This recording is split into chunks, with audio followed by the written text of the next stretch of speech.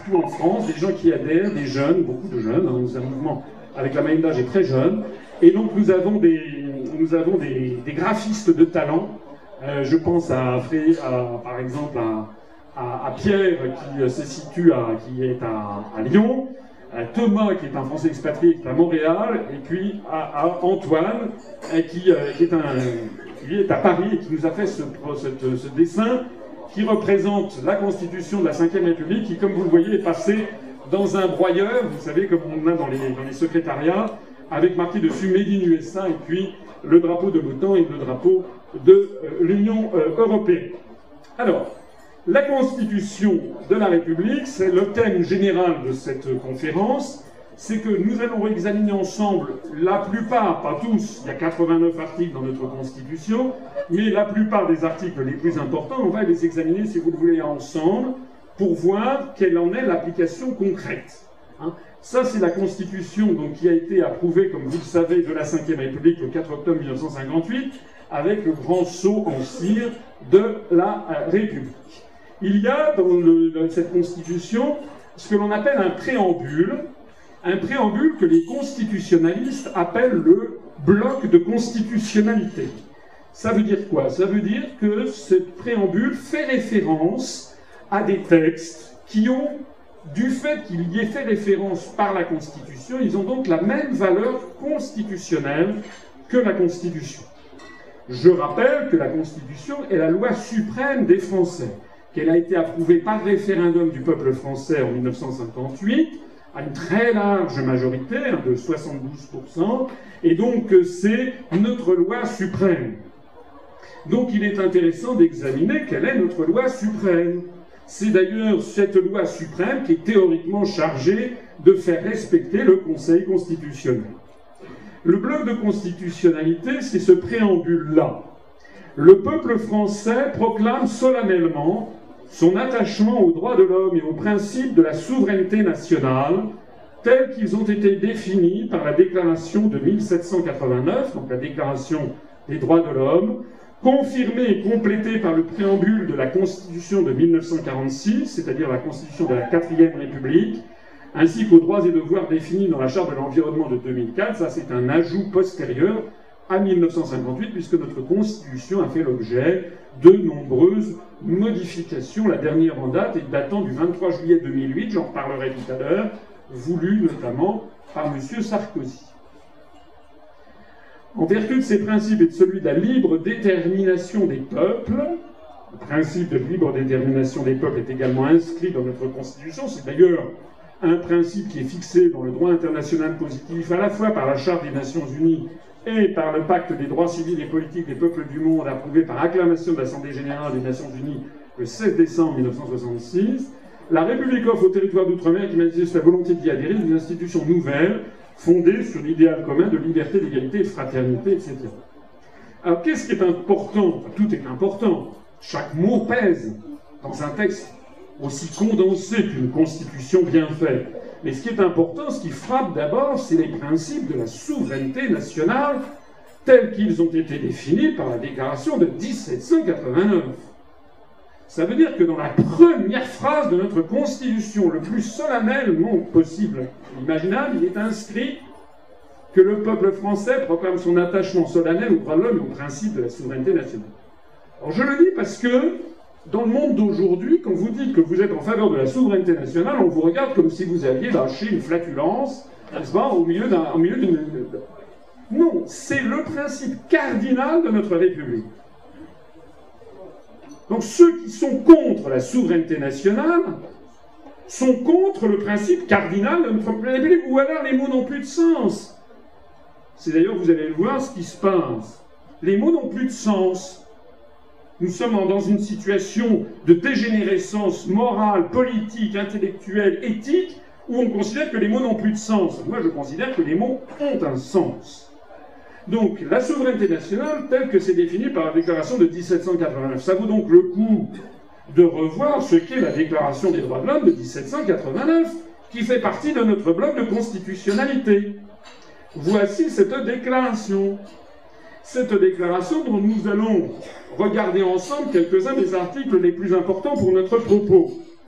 les représentants du peuple français, ça date de 1789, constitués en Assemblée nationale, considérant, ouvrez grand vos oreilles, que l'ignorance, l'oubli ou le mépris des droits de l'homme sont les seules causes des malheurs publics et de la corruption des gouvernements.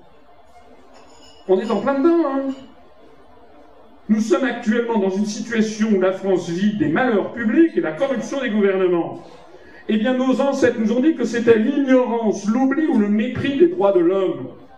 C'est exactement ce qui se passe, nous allons le voir, puisque le texte que je vais vous lire, est ignoré, oublié ou méprisé justement par nos dirigeants. On résolut d'exposer dans une déclaration solennelle les droits naturels, inaliénables. Inaliénables, ça veut dire qu'aucune force politique et morale ou religieuse jamais ne pourra retirer ce droit, et même s'il est brimé, violé, piétiné, ridiculisé, bafoué conjoncturellement, ce droit continue d'exister et sacré de l'homme afin que cette déclaration, constamment présente à tous les membres du corps social, leur rappelle sans cesse leurs droits et leurs devoirs. Afin que les actes du pouvoir législatif et ceux du pouvoir exécutif, pouvant être à chaque instant comparés avec le but de toute institution politique, en soient plus respectés. Pourquoi je fais cette conférence devant vous? Parce que je mets tout benoîtement en œuvre la Déclaration des droits de l'homme qui nous invite à comparer à chaque instant les actes du pouvoir législatif et du pouvoir exécutif avec justement la constitution qu'ils se sont donnée. C'est notre rôle. Notre rôle de surveillance, notre rôle de démocrate, ça doit d'abord être républicain, ça doit d'abord être de vérifier en ayant sous le nez la Constitution française, la Déclaration des droits de l'homme et plus accessoirement les traités européens dont vous savez que je fais une lecture minutieuse et quotidienne, eh bien, c'est en ayant ces textes à l'esprit que l'on peut enfin débattre de façon approfondie de la situation. Afin que les réclamations des citoyens, fondées désormais sur des principes simples et incontestables, tournent toujours au maintien de la Constitution et au bonheur de tous. Le maintien de la Constitution, c'est la raison pour laquelle il ne faut ni ignorer, ni oublier, ni mépriser les droits de l'homme, ni la Constitution, parce que sinon, eh bien, ce sera les malheurs publics et la corruption des gouvernements. C'est donc l'objet même de cette conférence. Alors, l'article 1 de la Déclaration des droits de l'homme, vous savez, c'est tous les hommes naissent libres et égaux en droit. Mais l'article 2 précise que le but de toute association politique est la conservation des droits naturels et imprescriptibles de l'homme.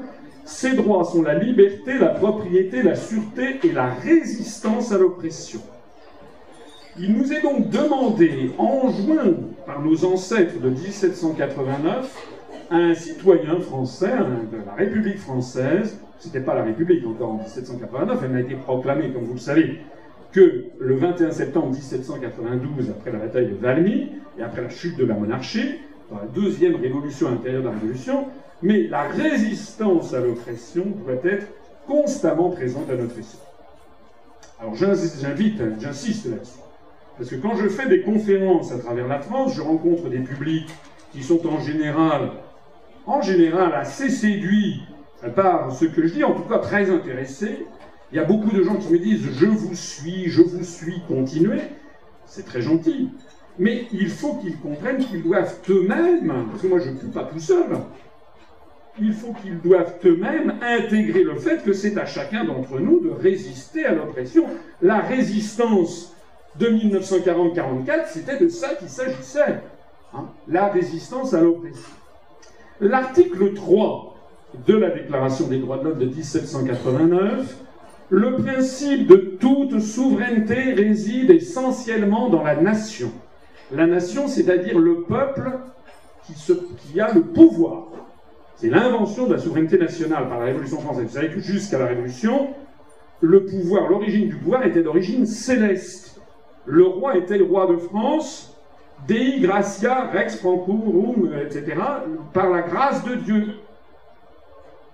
On disait pourquoi le roi est le roi? Ben, C'est parce que c'est Dieu qui l'a choisi. Ah, c'était assez pratique. En effet, vous remarquez bien que c'est d'ailleurs ce qui existe encore dans toutes les monarchies euh, actuelles de l'Europe, sauf la Belgique, puisqu'en Belgique, le roi n'est pas roi de Belgique, mais roi des Belges. C'est-à-dire que les Belges admettent le principe de la souveraineté nationale, c'est-à-dire que c'est le peuple qui détient la souveraineté.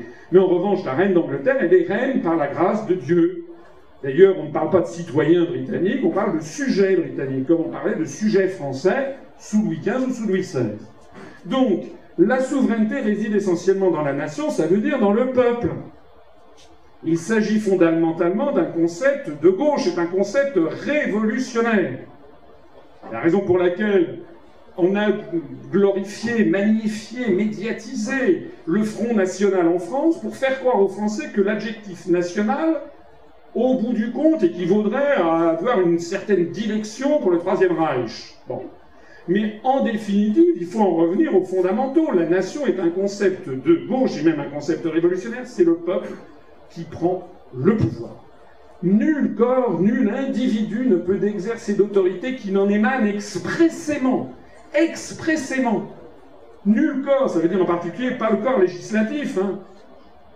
Les députés ne sont que des mandataires. Mais les mandants, c'est-à-dire le peuple, c'est lui qui exerce l'autorité en définitive. Et le principe de toute souveraineté J'insiste sur le fait que notre mouvement refuse délibérément l'adjectif de souverainiste. Nous laissons ça à tous ceux qui, comme disait Charles de Gaulle, ne veulent pas ce qu'ils savent et ne savent pas ce qu'ils veulent. Hein, les souverainistes qui critiquent l'Europe toute la journée mais qui ne veulent pas, surtout pas en sortir, nous laissons ça aux autres. Nous, nous ne sommes pas des souverainistes. Ça veut dire quoi des souverainistes? C'est une façon péjorative de présenter le combat pour la souveraineté nationale. C'est comme si on disait vous êtes libertiste parce qu'on se battait pour la liberté. C'est comme si on disait d'ailleurs ça existe. Ah, vous êtes droit de l'homiste. Tous ces is, tous ces is, ce sont des péjorations. N'est-ce pas? Nous, nous ne sommes pas un mouvement souverainiste, nous sommes un mouvement de libération nationale. De la même façon que le Viet Cong au Vietnam n'était pas un mouvement souverainiste, c'était un mouvement de libération nationale. De la même façon qu'en Algérie, le FLN était un mouvement de libération nationale, on ne disait pas c'est des souverainistes. Donc l'adjectif de souverainiste participe, c'est une véritable une réflexion mentale que vous devez avoir, parce que tous les adjectifs et les mots qu'on vous a mis dans la tête depuis des années visent toujours le même objectif, c'est-à-dire à folkloriser ce combat. Non, la souveraineté nationale, le combat pour la souveraineté nationale, c'est un combat qui est fondamental et qui est un combat inaliénable et qu'aucune force jamais ne peut retirer. Alors si nul corps et nul individu ne peut exercer d'autorité qui n'en émane expressément, ça veut dire que le corps législatif, l'Assemblée nationale, n'a pas le droit d'exercer une autorité qui n'émane pas expressément de la nation. A fortiori, il n'a pas le droit de modifier le résultat d'un référendum. Cela signifie donc que depuis le référendum du 29 mai 2005, où la nation française a voté non à 55% à la Constitution européenne, la poursuite de la construction européenne viole l'article 3 de la Déclaration des droits de l'homme de 1789 parce que c'est le corps législatif qui a décidé contre le peuple français de poursuivre cette construction alors qu'il avait dit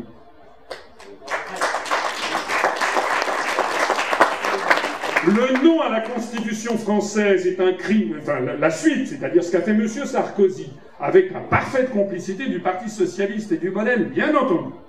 Hein, parce qu'il fallait les trois cinquièmes des députés pour que le traité de Lisbonne soit accompli. Certes, ça n'est pas contraire à la Constitution, malheureusement, puisqu'on peut ratifier des traités par des procédures dites du Congrès, mais en termes de morale politique et d'éthique politique, c'est un crime qui a été fait contre la République, contre les grands principes républicains, et c'est un crime dont ils ne sortiront pas. Et à travers, toute, à travers toute la France, à chaque fois que je dis ça, tout le monde est d'accord.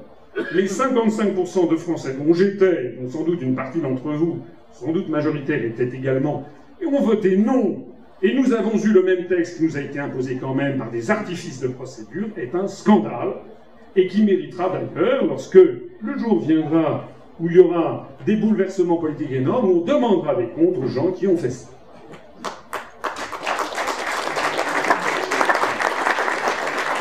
L'article 6 de la Déclaration des droits de l'homme. La loi est l'expression de la volonté générale. Tous les citoyens ont, ont le droit de concourir personnellement ou par le représentant à sa formation. Elle doit être la même pour tous, soit qu'elle protège, soit qu'elle punisse. Tous les citoyens étant égaux à ses yeux, aux yeux de la loi, sont également admissibles à toute dignité, places et emplois publics, selon leurs capacités, d'où les concours administratifs, anonymes et gratuits, et sans autre distinction que celle de leur vertu et de leur talent. Ça veut dire quoi cet article 6 Ça veut dire qu'en particulier, le népotisme, vous savez, népotisme, ça vient de népos, le neveu, ah, c'est une expression qui est née avec euh, les papes Alexandre VI Borgia, qui a placé toute sa famille, euh, ses, enfants, etc., ses maîtresses, euh, à des places en vue au Vatican sous la Renaissance. Le népotisme qui fait des ravages dans la société française contemporaine, dans tous les milieux. Il n'y a pas de milieu où il n'y a pas de fils d'archevêque, en particulier en politique. Moi, j'ai créé ce mouvement politique tout seul, à partir de zéro. Je n'ai pas hérité de ce mouvement politique. Hein, je ne suis pas la fille de mon père, si vous voyez ce que je veux dire. Je ne suis pas non plus quelqu'un. Je parle, oui, je parle effectivement de la SARL Le Pen, avec le père, la fille, le gendre, la petite fille. C'est quoi ça? Qu'est-ce que c'est que ce mouvement avec une SARL, avec toute une famille qui vit sur la bête? Qu'est-ce que c'est également que M. Delors, qui a placé sa fille, Mme Aubry, sa petite fille, Clémentine Aubry, est-ce que c'est républicain? Est-il républicain que M. Sarkozy ait placé Jean Sarkozy en orbite pour avoir des places éminentes au, Conseil général des Hauts-de-Seine? Et à la Défense Est-il républicain que M. José Bové, qui s'appelle pas José d'ailleurs, qui s'appelle Joseph, qui n'a rien d'un paysan, comme vous le savez, puisqu'en fait, euh, il a passé sa jeunesse en Californie, et ses parents étaient des chercheurs. Bon, donc c'est un personnage de composition, M. Beauvais. M. Beauvais, vous avez vu qu'il propulse maintenant Marie Beauvais. Est-ce que vous savez quel est le président, enfin le secrétaire national du Parti communiste français M. Pierre Laurent est le fils de Paul Laurent, l'ancien dirigeant du Parti communiste français? Bon, ça suffit. Il faut que les Français, dans le grand mouvement de libération nationale qui, va arriver, disent ça suffit de tous ces mouvements, de tous ces partis politiques qui sont en fait des cooptations. Je n'ai parlé que des têtes, de gondole, si j'ose dire, mais vous savez qu'au niveau des députés, des élus locaux, etc., ce sont des dynasties qui se sont créées. On trouve d'ailleurs la même chose dans le show business, dans, les, dans le milieu des affaires avec la famille Bouygues, par exemple, la famille Dassault, etc. Tout ceci est contraire au principe républicain et au principe de l'avancement par le mérite. C'est très grave. Parce qu'une société ne peut se projeter de façon positive dans l'avenir que si tous ces enfants, y compris les plus déshérités, y compris ceux qui sont nés dans des milieux défavorisés par la culture, par la formation, puissent bénéficier de l'enseignement républicain pour parvenir au sommet. Or, si on retombe dans une société d'ancien régime, où, quelles que soient les études que l'on fait, eh bien, on est de toute façon bloqué par une camarilla qui capte les fonctions, nous ne sommes plus dans la République française. L'article 10. Nul ne doit être inquiété pour ses opinions, même religieuses, pourvu que leur manifestation ne trouve pas l'ordre public établi par la loi. L'article 11 la libre communication des pensées, des opinions et des droits les plus précieux de l'homme, tout citoyen peut donc parler, écrire, imprimer librement. Est-ce que vous croyez que la situation des médias français correspond actuellement à sa définition des articles 10 et 11 de la Déclaration des droits de l'homme de 1789 Actuellement, nous sommes dans un régime où les sanctions administratives ou professionnelles frappent, et j'en suis bien placé pour le dire, frappe tous ceux qui ne sont pas d'accord avec le dogme euro-atlantiste. Je connais maintenant suffisamment de hauts fonctionnaires qui me disent, en aparté, toute porte fermée, ça ne va plus, ça déconne, ça déraille, l'État ne marche plus, c'est en pleine déliquescence. Oui, je connais des préfets, des hauts fonctionnaires dans les ministères, simplement, personne ne m'ouvre parce qu'ils savent que si jamais ils le disaient, ça serait immédiatement, ils seraient placés dans un cul de basse fosse. C'est ça la réalité. C'est pas seulement vrai d'ailleurs des hauts fonctionnaires, c'est également vrai des responsables politiques. Il ne faut pas que vous vous fassiez d'illusions. Hein. Les ministres, ceux-ci, ceux du gouvernement précédent, de toute façon, il n'y a aucun changement de politique, puisque tout est décidé ailleurs. est décidé à Bruxelles, à Francfort ou à Washington. Et les Français commencent à le percevoir. Mais eux, ils savent très bien ce dont il s'agit, sauf que tous ces gens ont fait une croix. Un, sur la France, deux, sur leur honneur, trois, sur le courage ces messieurs et ces dames font simplement carrière. ils veulent avoir leur voiture avec le siège en cuir, tableau de bord en loupe d'or et le gyrophare. C'est la seule chose qui compte. Quant au verrouillage médiatique, le verrouillage médiatique interdit de facto la diffusion au plus grand nombre et donc la connaissance des idées contraires au dogme euro-atlantiste. Je faisais ce, matin, ce midi, une conférence à l'école de commerce de Marseille rebaptisée Euromed Management. J'ai le sentiment, je peux me tromper, mais j'ai le sentiment que les étudiants qui étaient là n'étaient pas spontanément favorables, a priori, à ce monsieur qui venait pour leur dire qu'il fallait sortir de l'euro. C'est assez normal, puisque du matin au soir, du berceau à la tombe, on explique aux Français depuis maintenant 55 ans que sans l'Union européenne, et depuis maintenant 30 ans, euh, euh, oui, c'est-à-dire depuis 21 ans, pardon, depuis 92, sans la monnaie dite unique européenne, eh bien que nous ne serions plus rien. Donc il est assez naturel qu'à force d'entendre toujours la même chanson, on soit quand même sur ses gardes lorsque l'on hein, lorsque l'on entend quelqu'un qui vient dire exactement le contraire. Mais je ne pense pas m'aventurer beaucoup si je dis que les étudiants de ce midi, comme ceux que j'ai vus à l'université de Rouen l'autre fois, ont été un peu interloqués de découvrir que ce que je disais n'était quand même pas sans intérêt, que je leur apprenais des quantités d'informations très techniques sur l'euro, que je leur montrais ce que c'était que les banques centrales n'avaient pas disparu, que je leur montrais la divergence de Target 2, que je leur expliquais pourquoi les Allemands étaient vent debout sur l'euro, pourquoi ça, leur coûterait des milliards et des, milliers, des centaines de milliards d'euros, pourquoi ils voulaient s'en sortir, pourquoi les Grecs, les Portugais, les Espagnols, les Italiens voulaient en sortir, etc. Parce que tous ces débats n'ont jamais lieu dans les grands médias. Sur TF1, on vous présente Colanta, la Stara, comme d'habitude, sans parler bien entendu des séries américaines, hein, du style, euh, comment dirais-je, Prison Break et, et, autres, évidemment américains. En tout cas, ceci signifie que les articles 10 et 11 sont violés dans leur esprit par toutes les décisions actuelles et tout le fonctionnement actuel des médias. L'article 14 de la Déclaration des droits de l'homme nous dit que tous les citoyens ont le droit de constater par eux-mêmes par leurs représentants la nécessité de la contribution publique, c'est-à-dire des impôts, de la consentir librement. Tous les citoyens ont le droit de constater par eux-mêmes la nécessité de la contribution des impôts et de la consentir librement d'en suivre l'emploi et d'en déterminer la quantité, l'assiette, le recouvrement et la durée. C'est-à-dire que le citoyen de la République ne peut être forcé en rien, s'il ne l'a pas donné son accord, à fixer les impôts et à fixer leur utilisation.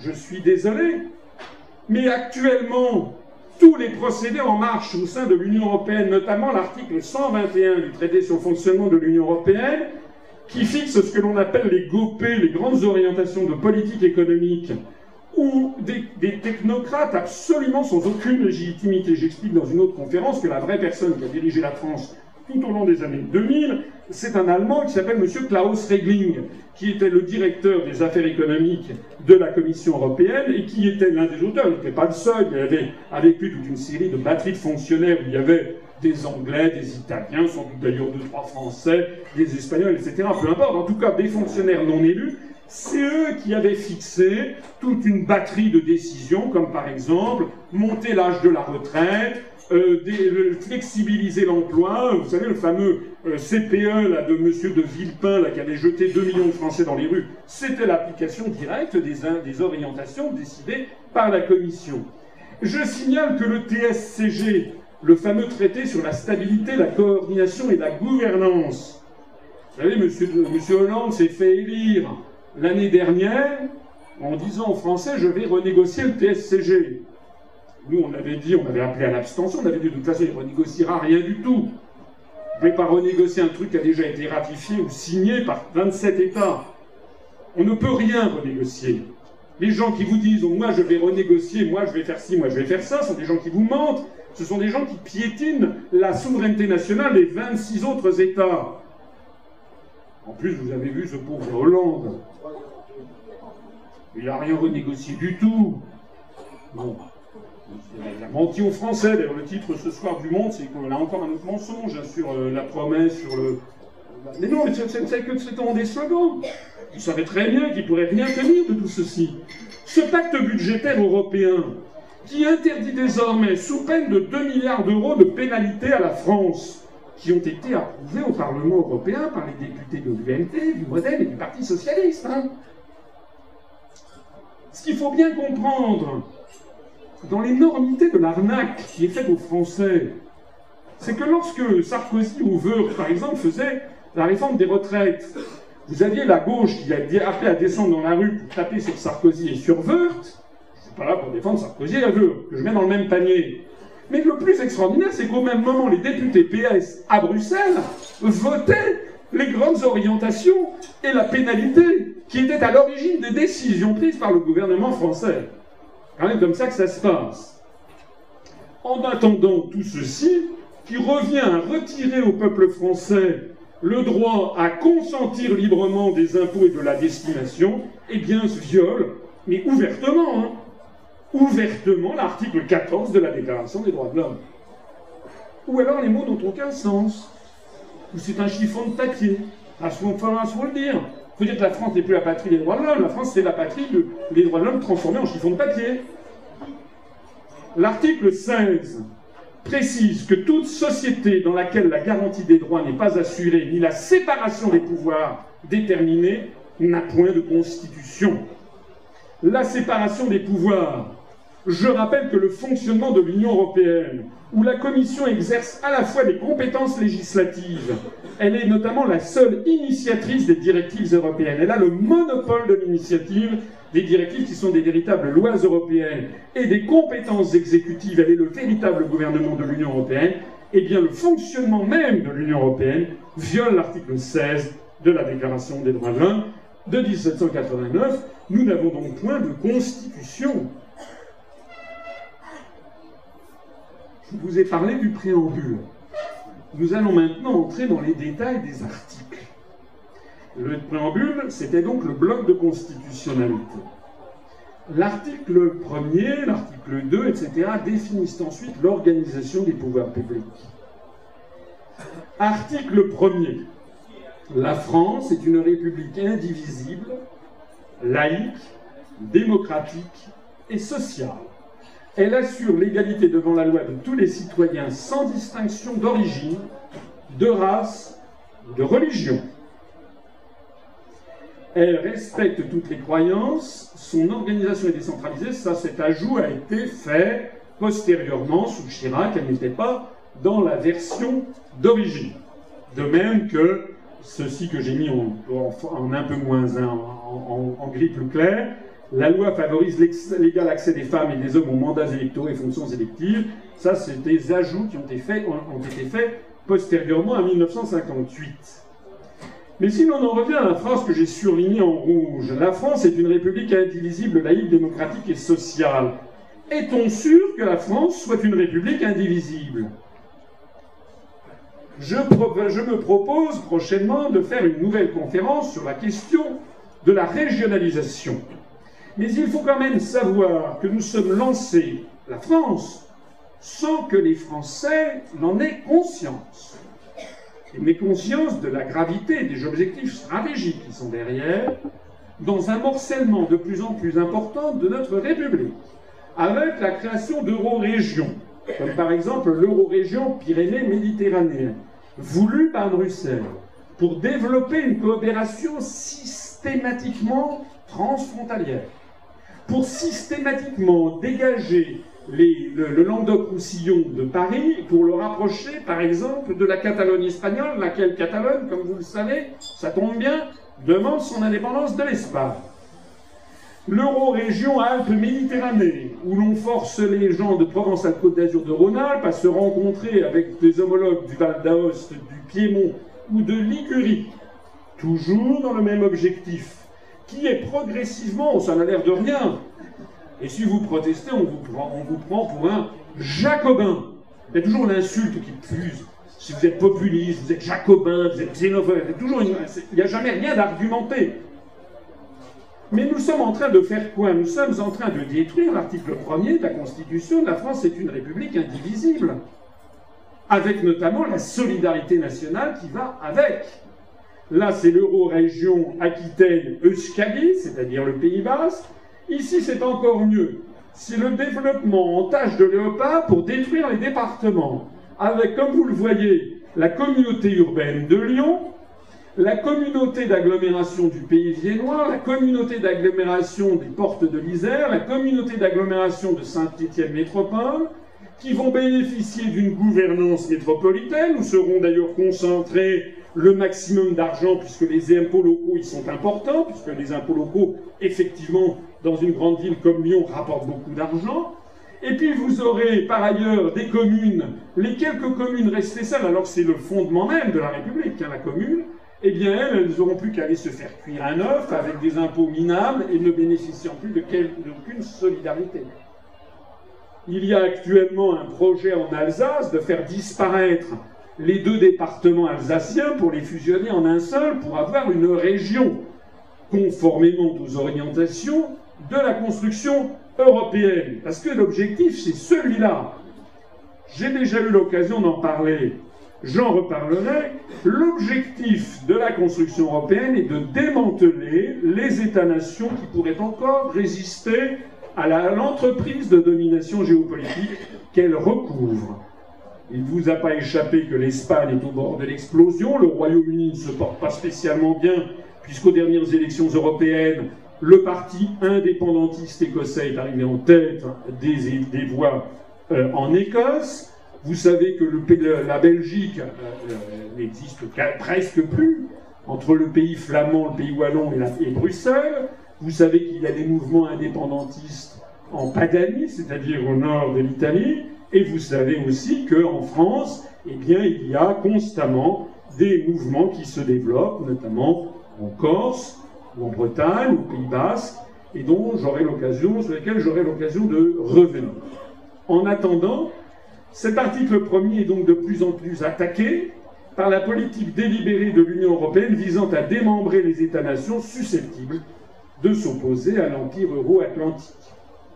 Je trouve d'ailleurs assez extraordinaire que ce sont les mêmes qui nous expliquent que la France est beaucoup trop petite au niveau mondial pour peser dans le monde. C'est ce qu'on nous explique à longueur de journée.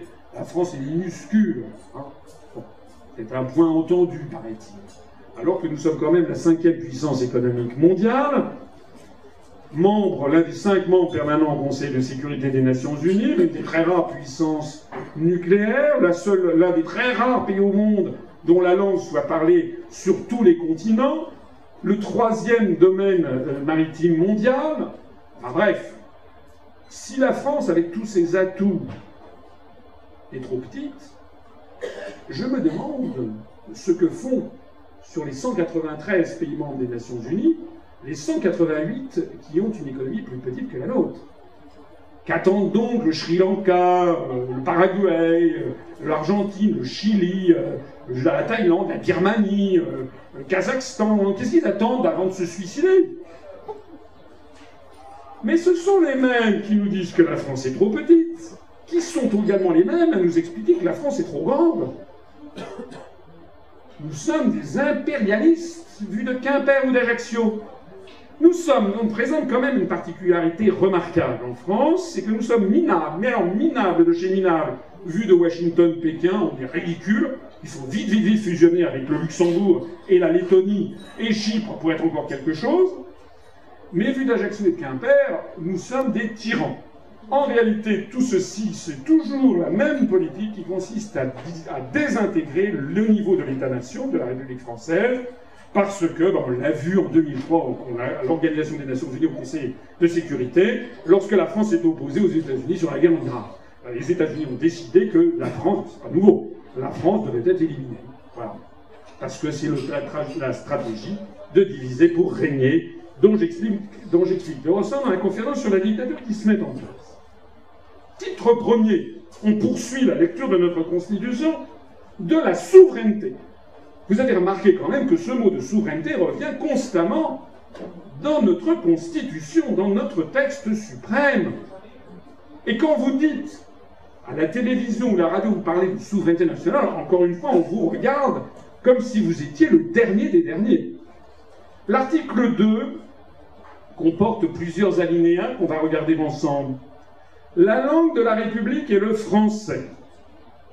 Je suis désolé, mais il suffit de se promener dans les rues de France.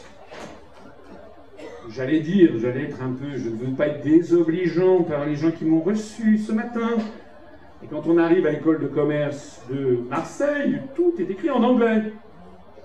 Eh bien, c'est à peu près pareil. Maintenant, je voyais que euh, on m'a demandé euh, au directeur général de l'ESSEC à Paris euh, de faire une conférence. Il m'a expliqué que non, qu'il ne voulait pas, que c'était contraire aux orientations de l'ESSEC d'être favorable à l'Europe. Ce monsieur confond l'enseignement et l'endoctrinement, à l'évidence. Je demandais simplement un débat contradictoire. On n'y a pas droit.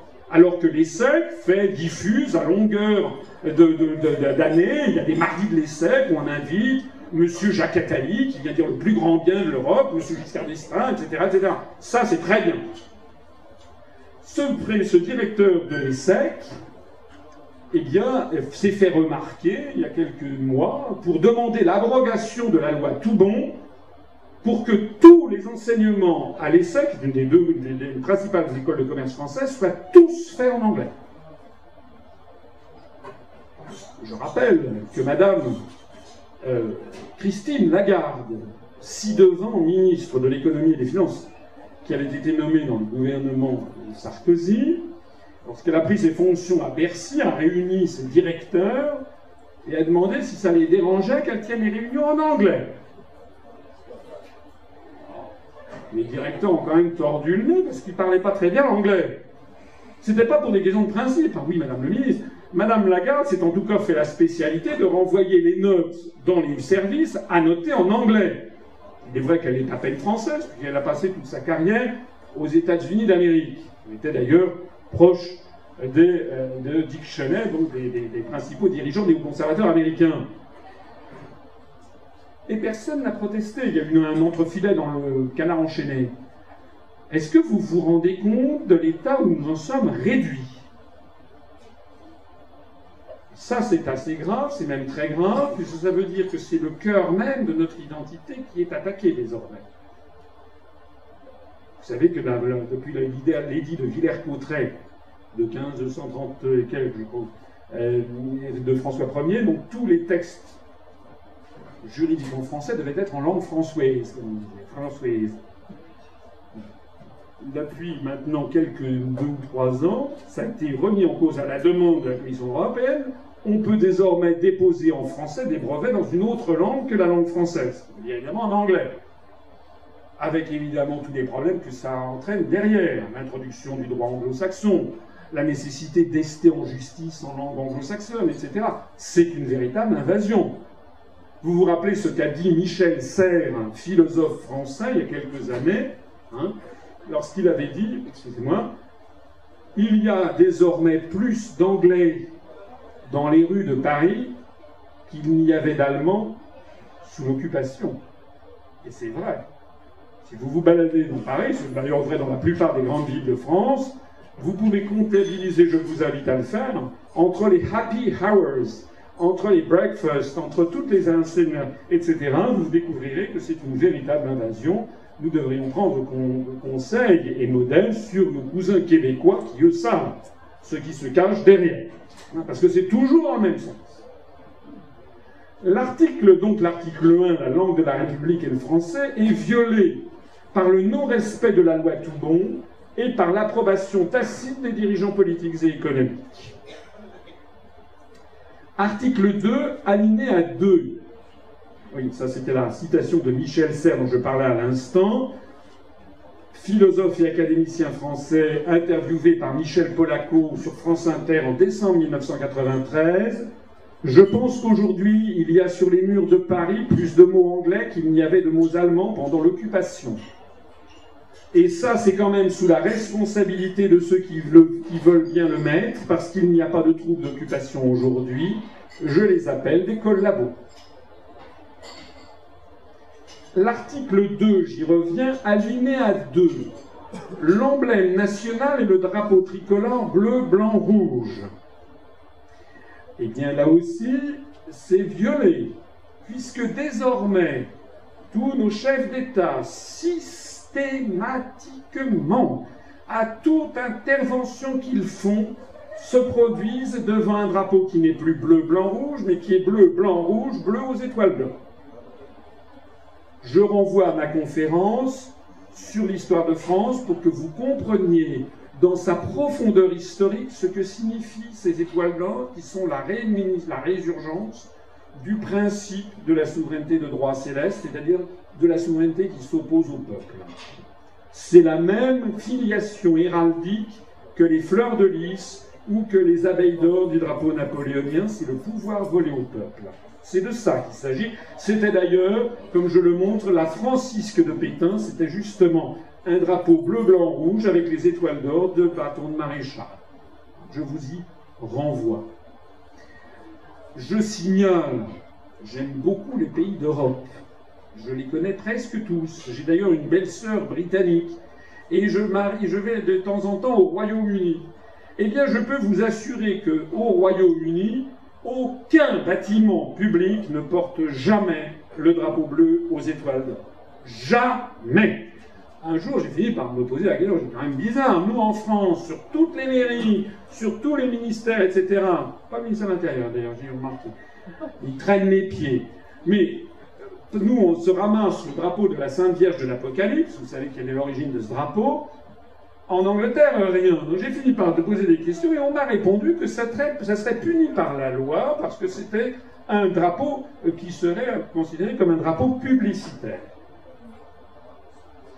On peut se demander d'ailleurs au passage ce que c'est qu'un mariage.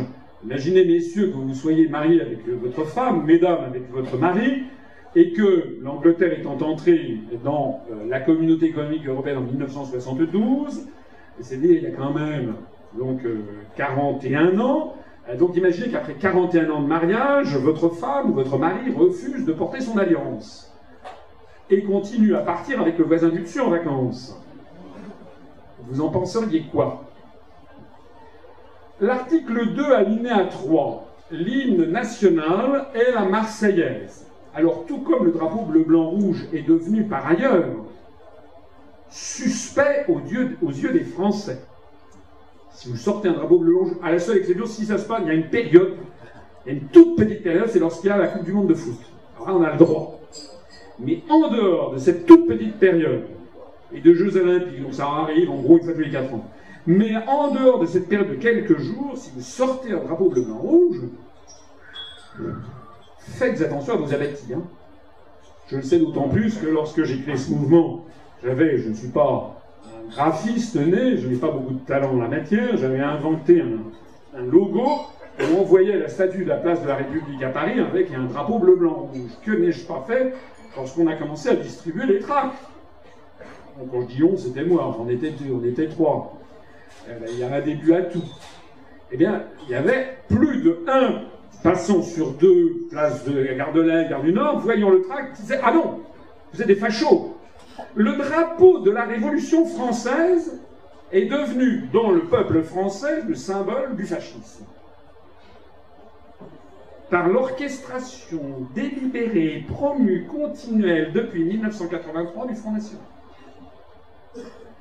Alors l'hymne national et la Marseillaise, c'est pareil.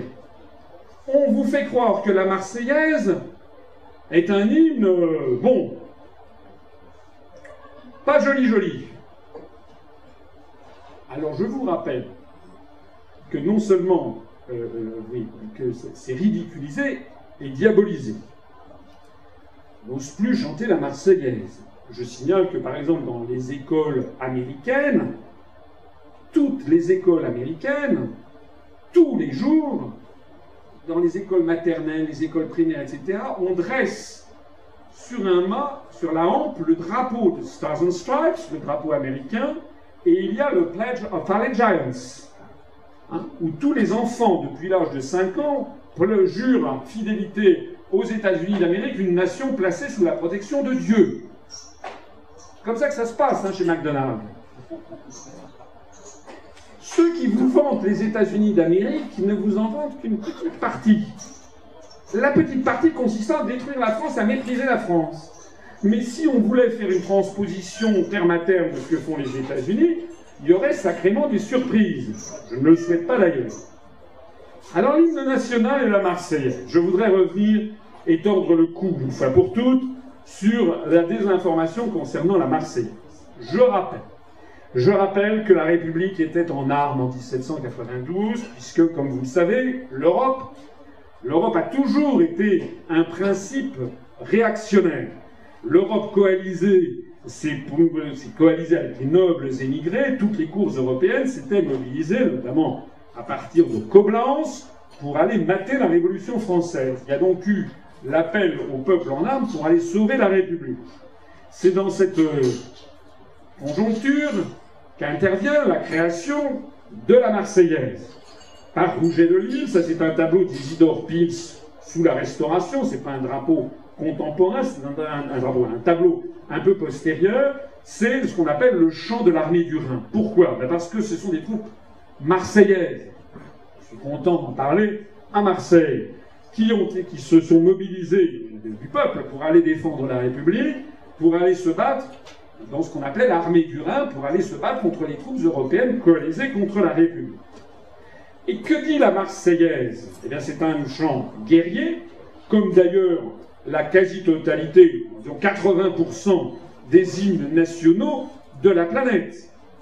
Allez regarder, par exemple, l'hymne national américain qui est un hymne national qui chante la guerre contre les Britanniques, n'est-ce pas, pendant la guerre d'après la, d'après la, d'après l'indépendance. Ils se sont battus avec les Britanniques pour l'indépendance pour essayer de mettre la main sur les provinces du Canada. Regardez euh, la plupart des, euh, des hymnes nationaux. Regardons la Marseillaise. Le premier couplet Allons enfants de la patrie, le jour de gloire est arrivé. Contre nous de la tyrannie, l'étendard sanglant est levé. Entendez-vous dans les campagnes mugir ces féroces soldats Ils viennent jusque dans vos bras, égorger vos fils et vos compagnes. Ça veut dire quoi? Ça veut dire que l'étendard de, contre nous de la tyrannie, l'étendard sanglant est levé, c'est une inversion euh, poétique. Ça veut dire l'étendard de la tyrannie est levé, c'est-à-dire les tyrans se lèvent contre nous, les forces de l'Europe coalisée, l'étendard est sanglant. Il est plein de sang. Du sang de qui? Du nôtre. C'est pas les troupes de, de Nosferatu. S'agit donc de la. Les Européens sont pleins de notre sang.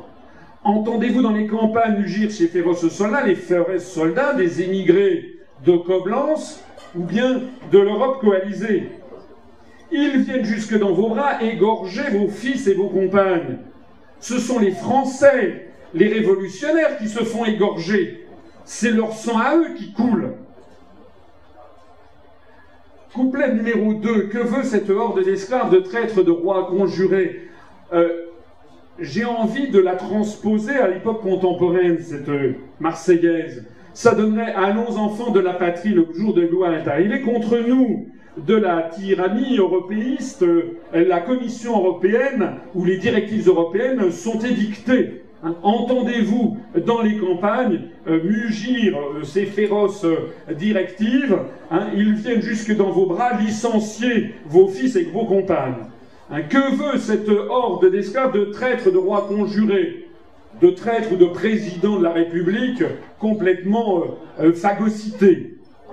Pour qui ces signaux exemples, c'est faire dès longtemps préparer Français pour nous à quel outrage, quel transport il doit exciter c'est nous qu'on ose méditer de rendre à esclavage, il n'y a rien à, changer en fait. Le couplet numéro 3. Quoi des cohortes étrangères feraient la loi dans nos foyers? Quoi Des commissaires européens feraient la loi dans nos foyers? Quoi Ces phalanges mercenaires terrasseraient nos fiers guerriers? Quoi Ces marchés financiers licencieraient nos fiers ouvriers? Grand Dieu, par des mains enchaînées, nos fronts sous le joug se ploieraient, de villes despotes deviendraient les maîtres de nos destinées. Grand Dieu, par des mains enchaînées, nos fronts sous la dette se ploieraient. Goldman Sachs deviendrait les maîtres de nos destinées. Il n'y a presque rien à changer. Hein Alors, bien sûr, il y a le refrain. Il y a le refrain avec qu'un sang impur abreuve nos sillons. Alors c'est ça qui fait que des grandes consciences morales ont expliqué que c'était très très mal, etc. Le problème qu'il y a, c'est que les gens qui vous racontent ça se livrent à une désinformation totale. Je rappelle que sous l'Ancien Régime, le roi, ici Louis XVI et les nobles, portaient culottes.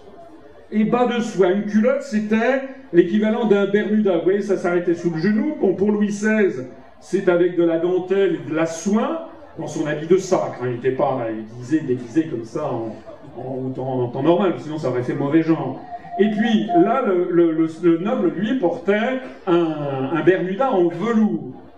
Et ensuite, vous aviez un bas de soie hein, qui remontait, en fait, une espèce de grande Josette qui remontait jusqu'au genou. Voilà. Ça, c'est la façon dont s'habillait l'aristocratie, qui avait de l'argent. Le peuple, lui, n'avait pas d'argent, ne pouvait pas se payer ça. D'ailleurs, on n'aurait même pas eu l'idée de s'habiller comme ça. C'était un marqueur social évident.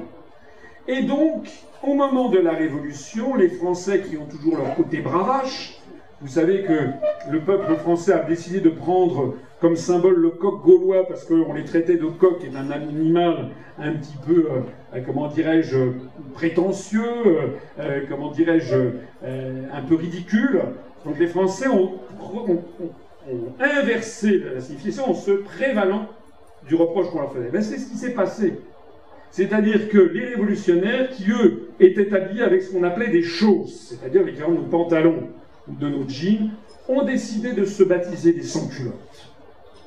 Par provocation. Comme ça que ça s'est passé. C'est pas parce qu'ils avaient pas, c'est pas parce qu'ils étaient à poil hein, sur les champs de bataille de Valmy. C'est pas parce que les dames avaient oublié leurs petites culottes qu'ils se sont appelés sans-culottes. C'est parce qu'ils ne s'habillaient pas comme l'aristocratie on a le même phénomène exactement aujourd'hui avec les gens qui se sont baptisés les sans-papiers. On reprochait à des immigrés clandestins de ne pas avoir où sont vos papiers, donc ce réflexe typiquement gaulois hein, qui remonte dans le fond des âges, et ce sont les gens qui se sont dit oui, eh bien, avec fierté, nous sommes des sans-papiers, de même qu'il y avait des sans-culottes. Alors, maintenant, venons-en au fond du problème. La famille royale était réputée avoir le sang bleu et les nobles avoir le teint plus pâle et le sang plus pur que les roturiers. Ils étaient peints, là par exemple Madame Vigée Lebrun qui peint Marie-Antoinette, la qualité, la beauté d'une femme en particulier, c'était d'être extrêmement blanche, très très pâle. C'est d'ailleurs la raison pour laquelle toutes les femmes de qualité se protégeaient du soleil, portaient des ombrelles. Il fallait avoir le sang le plus blanc, le teint le plus blanc possible, puisque c'était la preuve que l'on avait le sang pur, et si l'on faisait partie de la famille royale, on avait non seulement le sang pur, mais le sang bleu. C'était symbole. En revanche, 90% des Français de nos ancêtres étant dans les champs, eux, ils étaient dans les champs, avec le visage basané et hâlé toute la journée, bronzé, on dirait, de nos jours. Et donc, le peuple français, au moment de la Révolution, revendiqua, de même qui revendiquait être sans pilote, il se revendiqua comme étant de sang impur par provocation. Alors maintenant, ben, vous avez compris, le sang impur de notre champ national. Qu'un sang impur abreuve nos sillons signifie très exactement le peuple français est prêt à nourrir de son propre sang le sang impur. C'est pas, c'est pas du tout une théorie raciste. Le peuple français est prêt à nourrir de son sang la terre de France pour défendre sa liberté et la République contre l'étendard sanglant, justement, des Européens, qui viennent justement égorger vos fils et vos compagnes. D'ailleurs, ce sens est confirmé par le quatrième couplet de la Marseillaise. Tout est soldat pour vous combattre, tout est soldat, tous les Français sont des soldats pour vous combattre. Vous, les forces coalisées de l'Europe contre la France. S'ils tombent, s'ils meurent, nos jeunes héros, la France en produit de nouveau. C'est une métaphore, nous sommes à l'époque du XVIIIe siècle, une métaphore inspirée des économistes, par exemple, des physiocrates, pour lesquels la richesse essentielle était dans la production agricole. Donc là, s'ils tombent nos jeunes héros, la France en produit de nouveau, comme elle produit de nouveau du, blé. Contre vous, tout prêt à se battre. Donc vous avez compris qu'un sang impur abreuve nos sillons, ça veut dire, mais tant mieux, le sang du peuple français va abreuver nos sillons pour produire de nouveaux héros qui vont se battre. Le sang impur de la Marseillaise désigne le sang du peuple français, prêt à mourir contre la noblesse européenne coalisée. Cette formule n'a strictement rien à voir avec une théorie xénophobe ou raciale, comme on veut vous le faire croire constamment dans toutes les télés, toutes les radios depuis maintenant des décennies, pour vous faire honte, pour que vous ayez honte de votre propre histoire, alors que c'est l'une des plus belles histoires nationales du monde. Et la meilleure preuve d'ailleurs, c'est que les théories racistes des, commencent avec notamment l'essai, le fameux livre du comte euh, de Gobineau, Arthur de Gobineau, euh, l'essai sur l'inégalité des races humaines, qui est paru en 1853 dans son édition originale, 64 ans postérieur à la Marseillaise. Article 2, alinéa 4. La devise de la République est liberté, égalité, fraternité. J'en dirai pas grand-chose, si ce n'est que, en réalité, ça a été dénaturé par les politiques de la Commission européenne, dont les articles, dont je renvoie à ma conférence sur les dix raisons de sortir de l'Europe, notamment quand j'égrène les articles du traité sur le fonctionnement de l'Union européenne, l'article 32, 39, 63, 121, 123, 125, 282, etc., qui sont tous, qui visent tous au démantèlement des services publics, qui visent tous à développer le communautarisme, qui visent tous à nuire à la liberté, à l'égalité, à la fraternité entre le peuple français. En réalité, comme vous le savez, notre République est devenue austérité, précarité, et compétitivité.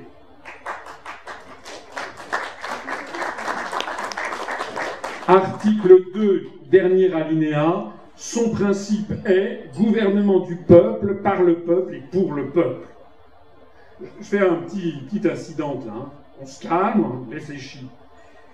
Tout ceci a été parfaitement prémédité par les rédacteurs de la Constitution de la Ve République. Hein. Chaque mot a été pesé. Donc quand on écrit ça, quand on dit la langue de la République est le français, on ne dit pas la langue de la République, c'est euh, le français et, euh, et le, comment dirais-je, l'occitan à Perpignan, le français et le breton à Quimper, etc.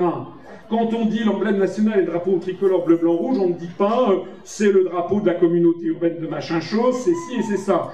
Quand on dit son principe est gouvernement du peuple par le peuple et pour le peuple, ça veut bien dire quelque chose, notamment le pour le peuple nous devons, nos dirigeants, c'est leur mandat impératif, bien que les mandats impératifs soient nuls dans la Constitution, mais leur mandat, leur obligation politique et morale, on se pince de devoir être obligé de le rappeler, ça n'est pas de gouverner pour une oligarchie financière. Ça n'est pas de gouverner parce que Goldman Sachs, JP Morgan, la Générale, la BNP ou je ne sais pas qui, où la Commission européenne, où les marchés financiers ont frémi. Rappelez-vous ce qu'avait dit avec euh, non sans grandeur Charles de Gaulle, qui avait dit la politique ne se fait pas à la corbeille. À l'époque, il y avait ce qu'on appelait une corbeille. Les bourses maintenant ont été dématérialisées, mais il y avait une corbeille physiquement, c'est-à-dire un cercle autour duquel se faisaient les transactions. Il faut quand même que nous ayons des dirigeants qui un jour se disent, se ressaisissent et disent mon pouvoir, je le tiens du peuple français, je dois, je dois faire le gouvernement du peuple par le peuple, je ne suis que leur représentant et pour le peuple, pas pour l'oligarchie. Alors j'insiste quand même, j'y reviens, sur les résultats du référendum du 29 mai 2005, avec 55% de non. Qu'est-ce que ça veut dire s'il y a 55% de non et qu'on impose quand même, en changeant deux points virgule, le texte même, en le faisant ratifier par, comme je le disais tout à l'heure, le corps législatif Eh bien, ceci signifie que ce principe de gouvernement du peuple par le peuple et pour le peuple est tout simplement violé. Les suites données au référendum, par exemple, mais également la complaisance systématique et l'application systématique des décisions voulues par une oligarchie. Article 3 de notre Constitution précise la souveraineté nationale. Vous voyez, on y revient encore. Ceux qui vous disent, enfin, c'est ringard, n'ont tout simplement pas lu la Constitution, qui est notre loi suprême actuelle. Vous considérez comme si on était des ringards. C'est la loi. La souveraineté nationale appartient au peuple.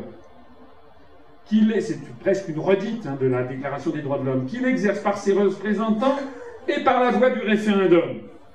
Je viens de montrer comment le référendum du 29 mai 2005 a été violé. Aucune section du peuple, ni aucun individu ne peut s'en attribuer l'exercice. Monsieur Sarkozy, avec la complicité des, députés, des sénateurs de l'UMP, du MoDem et du Parti socialiste, ont violé cet article 3, puisque ce sont des individus, ce sont une petite section du peuple qui s'en est attribué l'exercice. Sont électeurs, dans les conditions déterminées par la loi, tous les nationaux français majeurs des deux sexes. Ça a été, comme on le verra plus tard, abandonné par l'article 88.3 ajouté ultérieurement, qui rend d'ailleurs cette constitution complètement abracadabrantesque, puisqu'en réalité, comme vous le savez, il y a désormais des élections où on autorise des étrangers communautaires à voter, notamment aux élections municipales et aux élections européennes sur le territoire de la République, ce qui pose des problèmes de principe tout à fait considérables. L'article 4. Les partis et groupements politiques concourent à l'expression du suffrage. Ils se forment et exercent leur activité librement. Ils doivent respecter les principes de la souveraineté nationale et de la démocratie. Les partis politiques français, d'après l'article 4 de la Constitution, doivent respecter les principes de la souveraineté nationale et de la démocratie. Eh bien, je suis désolé, mais tous les partis politiques français qui ont appelé à voter oui à Maastricht, qui ont appelé qui ont ratifié le traité d'Amsterdam, qui ont appelé et qui ont ratifié le traité de Nice, qui ont appelé à voter oui à la Constitution européenne et qui ont a fortiori ratifié le traité de Lisbonne, eh bien, violent ouvertement l'article 4, puisqu'ils piétinent les principes de la souveraineté nationale. J'attends que quelqu'un me, dise le contraire. Ça veut dire quoi sinon? Donc c'est violé par tous les partis qui ont approuvé les traités européens. La démocratie, c'est également violé par les partis qui font pression sur les maires au moment des 500 parrainages à l'élection présidentielle, parce que c'est comme ça que ça se passe. Lorsque j'ai voulu être candidat à l'élection présidentielle, on s'y est pris à partir de l'automne 2011. C'est vrai que nous étions encore un mouvement petit, on n'est pas immense, enfin beaucoup, beaucoup, beaucoup grossi depuis lors. On devait être à la fin 2011 quelque chose comme à peu près, au moment où on a commencé à chercher des signatures, il devait y avoir 600 adhérents. On en est à 2500 à peu près. Donc on a beaucoup grimpé. On reste un petit mouvement, mais on n'est plus un groupuscule. Néanmoins, lorsqu'on a commencé, vous savez, d'entre un certain nombre d'entre vous sont allés essayer de trouver des signatures, des parrainages. Vous savez très bien ce que disaient les maires. Premièrement, ah ben je ne connais pas ce monsieur, il n'existe pas. Ça, c'est l'article 4, le suivant, la loi garantit les expressions pluralistes des opinions et la participation équitable des partis groupements politiques à la vie démocratique de la nation. C'est effectivement complètement piétiné j'avais présenté mon programme, qui je crois, j'ai la faiblesse de le penser, en tout cas vous le verrez sur ceux d'entre vous qui l'achèteront, et pour ceux qui ne pourront pas ou voudront pas l'acheter, je les renvoie, et ça que ça intéresse, je les renvoie à notre site internet, où nous l'avons mis en ligne en téléchargement. Vous pourrez constater que le programme que j'ai présenté était le programme le plus détaillé, le plus, je crois, avec le plus de hauteur de vue plus, le plus de pénétration dans l'analyse et dans les propositions de tous les candidats. Je n'ai jamais eu droit à une seconde à la télévision française, sauf à l'extrême limite où j'étais invité pendant 4 minutes sur, sur iTélé. Bon, se moquer du monde. Donc les, les, maires que nous allions voir, premièrement, disaient Mais ce monsieur n'existe pas, vous me parlez d'un candidat qui n'existe pas. Ben oui, parce qu'en France, si vous n'êtes pas passé à la télé, vous n'existez pas ça veut dire que tout le pouvoir est mis dans la détenteur des, médias, des grands médias. Et deuxièmement, eh bien, les gens nous disaient, oui, mais euh, moi je suis au PS, je suis à l'UMP, on a interdiction de donner notre parrainage à qui que ce soit d'autre qu'au candidat officiel.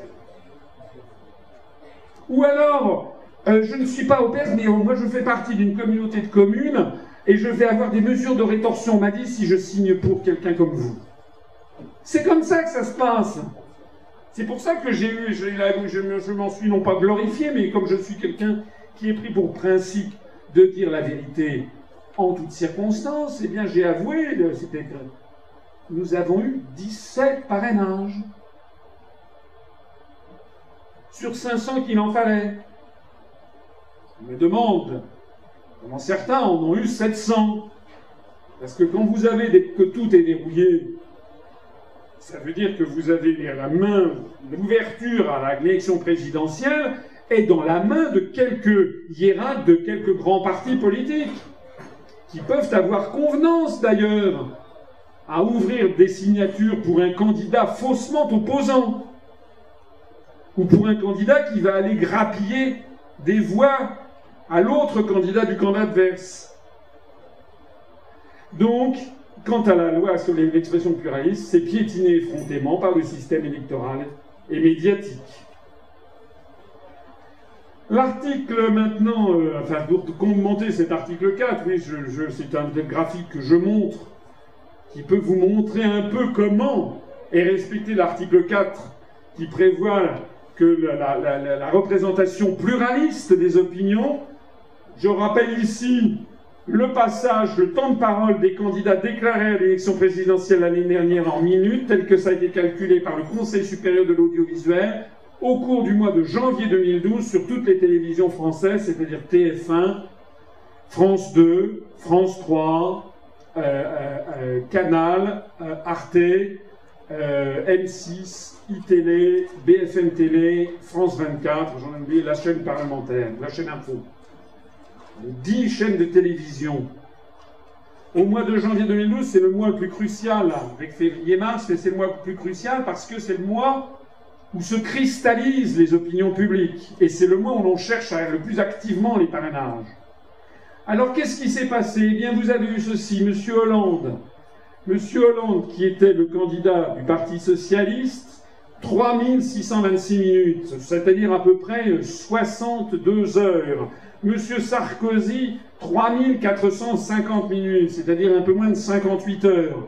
Chose curieuse, alors qu'il était le président de la République en exercice, il est moins passé à la télévision que son challenger. C'est à croire que les détenteurs des médias n'avaient pas très peur de M. Hollande, n'est-ce pas? Et puis en trois, M. Bayrou, 913 minutes. Est-ce que vous voyez le décalage phénoménal? Qu'il y a entre les deux premiers et le troisième 913 minutes, ça veut dire 15 heures. Où est la représentation pluraliste des opinions? Les médias se comportent comme si la Constitution de la République française avait prévu que seul le candidat présenté par l'UMP et par le Parti socialiste peuvent gagner les élections présidentielles. Il devrait introduire ça comme article dans la Constitution, ça serait au moins plus clair. Hein. En 4, Madame Le Pen, 722 minutes, 12 heures, ce qui est peu par rapport à Sarkozy et à Bayrou. Mais ce qui n'est pas si mal comparé aux autres. C'est à croire que Madame Le Pen ne fait pas si peur que cela et que son instrumentalisation sert beaucoup d'intérêt. Monsieur Mélenchon ensuite, avec 568 minutes, c'est-à-dire un peu moins de 10 heures. Et puis Madame Eva Joly, 484 minutes, c'est-à-dire 8 heures. Et puis Monsieur Hervé Morin, du nouveau centre. On a oublié qui c'était, on ne perd rien d'ailleurs. Mais enfin, il m'avait dit qu'il serait candidat. Il n'avait d'ailleurs, à ma différence, moi à l'époque, j'avais présenté un programme qui fait 5 heures de rang sur vidéo, qui tourne toujours, on est à 100 000 visionnages. Hein. Il y a des gens qui le découvrent et qui disent Tiens, mais c'est qui ce type qui avait un programme qui était quand même pas mal Bon. Monsieur Morin n'avait rien fait, mais simplement il a eu droit à 202 minutes, c'est-à-dire à peu près 3 heures et demie. Et puis M. de Villepin, 186 minutes, c'est-à-dire 3 heures. J'aimerais que quelqu'un m'explique pourquoi M. de Villepin, qui dans toute cette ribambelle était le seul ancien Premier ministre à se présenter à l'élection présidentielle priori, ce n'est quand même pas un candidat fantaisiste. C'était le seul chef de gouvernement, ce que n'avait été ni M. Hollande, qui n'a jamais fait quoi que ce soit de sa vie, part être président de la République, M. Sarkozy, qui n'avait jamais été Premier ministre, M. Bayrou, euh, M. Le Pen, heureusement, Mme Le Pen non plus, M. Mélenchon non plus, Joly, Morin, non. Le seul à avoir été Premier ministre dans toute cette ribambelle, c'était M. Dupin, et ça remontait pas 50 ans avant, ça remontait quelques années avant. Il a eu droit à 3 heures quand Mme Le Pen a eu droit à 12 heures. Et quand M. Bayrou a eu droit à 15 heures et quand M. Hollande a eu droit à 62 heures. Comment peut-on se battre à armes égales quand on a de tels handicaps médiatiques? C'est exactement comme si aux 400 mètres aux Jeux Olympiques, on prenait les deux principaux coureurs euh, favoris, n'est-ce pas, qui sont des Jamaïcains ou des Afro-Américains, et qu'on leur donnait non pas un handicap, mais un avantage de 250 mètres sur les suivants. Alors je dis ça parce qu'il y a des gens qui me disent Ah oui, les Français ont voté Hollande. Ah oui, les Français ont voté Sarkozy, mais les Français, ils ont voté pour ce qu'on leur a présenté. C'est comme quand vous allez dans un hypermarché. Si vous allez dans un hypermarché que vous voulez acheter une bouteille de saké et qu'il n'y a pas de bouteille de saké, vous faites quoi? Ben, Vous achetez une bouteille de cognac. Mais vous rentrez chez vous, vous n'êtes pas content, parce que vous voulez une bouteille de saké, vous mangez ce soir-là des sushis. Eh bien, c'est exactement la même chose avec la politique. Les Français, ils ne voulaient pas spécialement de Sarkozy, ni, de, ni d'ailleurs de François Hollande. Les Français étaient bien conscients qu'ils voulaient autre chose. Simplement, c'était pas mis en rayon. Pour ceux d'entre vous qui font du marketing, vous savez que la clé, c'est quand même la mise en rayon. Si un produit n'est pas en rayon, et eh ben s'il n'est pas distribué, les gens ne l'achètent pas. Donc ne vous laissez pas enfumer par les gens qui disent Ah, mais les Français ont voté Hollande, les Français ils ont voté parce qu'ils voulaient pas de Sarkozy, il n'y plus de Sarkozy, on peut les comprendre, mais ils ont voté sans, être emballés par M. Hollande. Et maintenant on leur dit Bah oui, vous avez voté Hollande, donc vous avez voulu ci, vous avez voulu ça, vous avez voulu. Ils n'ont rien voulu du tout.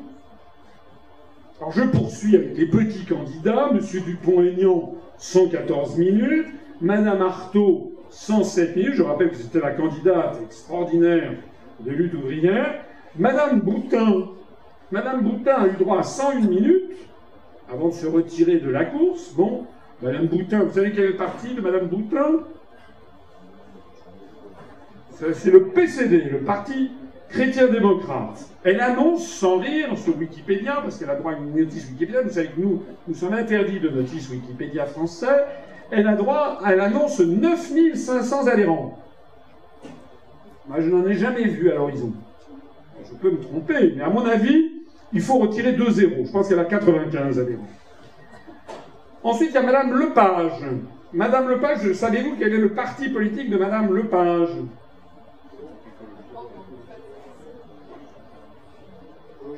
Oui, elle est vaguement écologiste. Bon, ça ne m'a pas empêché d'ailleurs d'avoir fait partie des huit députés au Parlement européen, des huit députés français au Parlement européen qui ont voté oui aux farines animales. Hein. Je, vais, sortir demain un petit article dont je vous dis grand bien à l'avance sur ces questions. Madame Lepage est à la tête d'un parti qui s'appelle CAP 21. Vous savez ce que ça veut dire CAP 21 Son objectif est d'avoir 21 adhérents. Elle a eu droit à 92 minutes. Et puis alors enfin les petits poussets, c'est-à-dire M. Poutou euh, de, du NPA qui a eu droit à 36 minutes, M. News de CPNT qui a eu droit à 9 minutes, et puis Asselineau, c'est moi. Eh bien moi j'ai eu droit à 0 heure, 0 minutes et 0 secondes.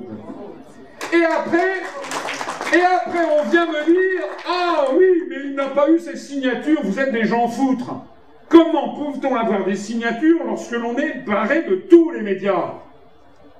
Au passage, deux choses. Ça prouve que les gens qui passent beaucoup dans les médias, quand je dis beaucoup, c'est à partir euh, au-delà, en l'espèce, ça va jusqu'à euh, Madame Eva Joly. S'ils passent beaucoup dans les médias, c'est qu'il y a une raison.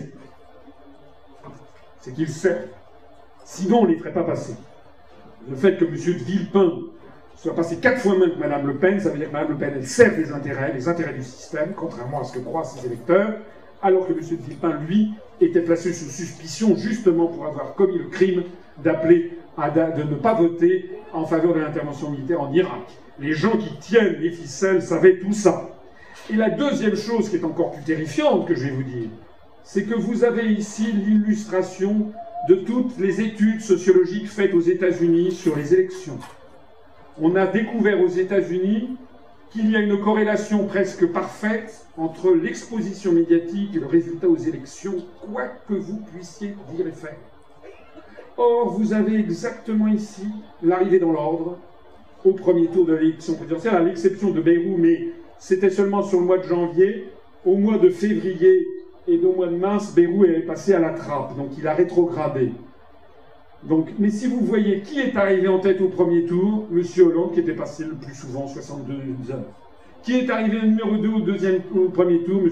Sarkozy, qui était passé 58 heures. Qui est arrivé troisième? Madame Le Pen, qui était ensuite arrivée troisième dans les passages médias. Quatrième, M. Mélenchon, qui était quatrième dans les passages médias.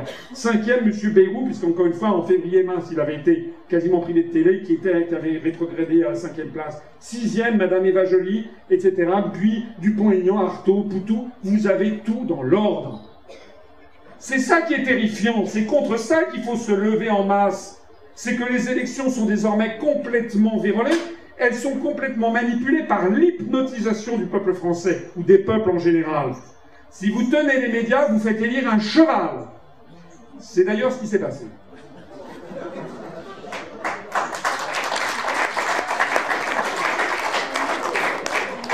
Alors on en vient.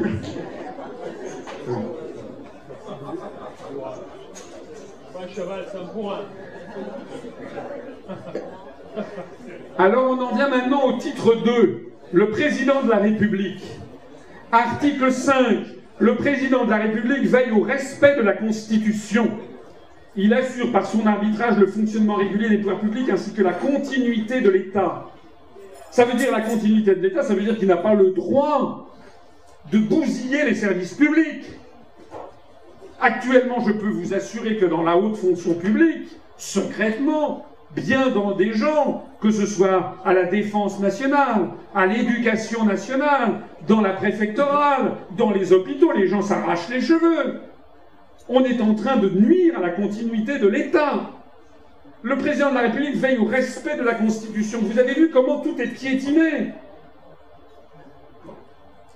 Il est le garant de l'indépendance nationale de l'intégrité du territoire et du respect des traités.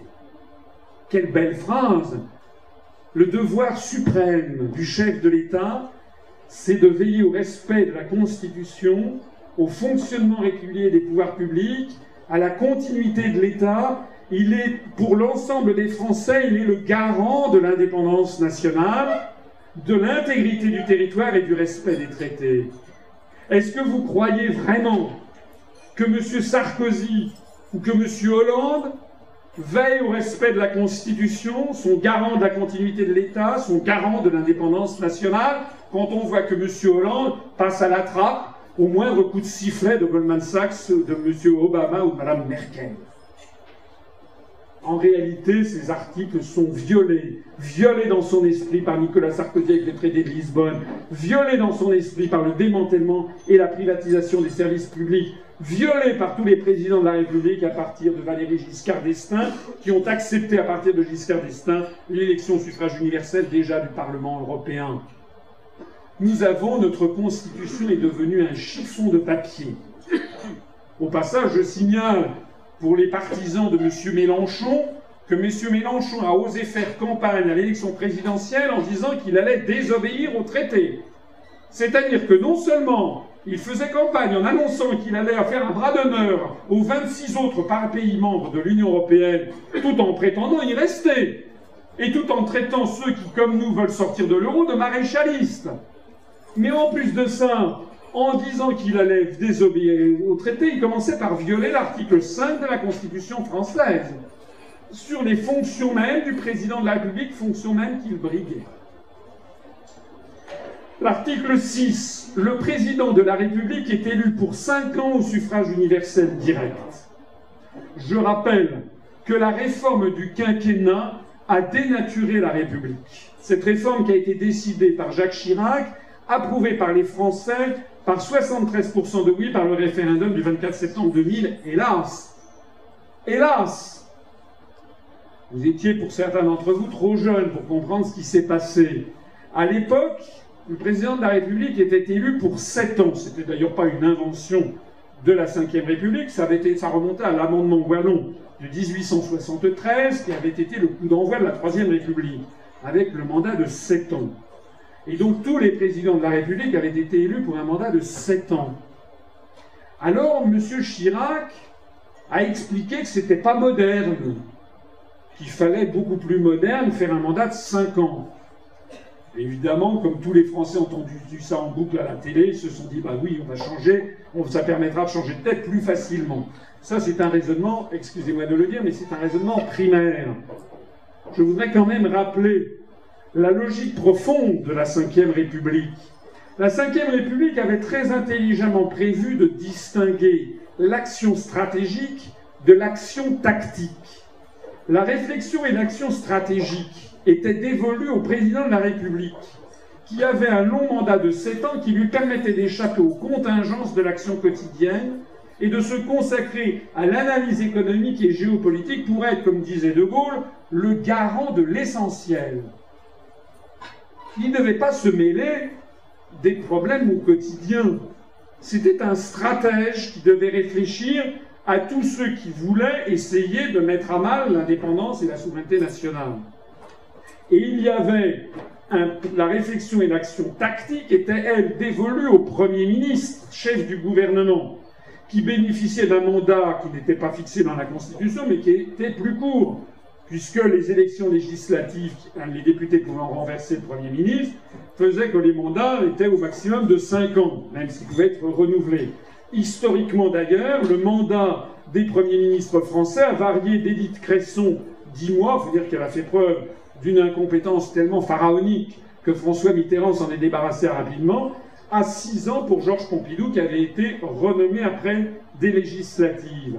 Et ceci, il devait conduire l'action du gouvernement au quotidien, donc c'était lui, le Premier ministre, qui se ramassait, si j'ose dire, l'impopularité.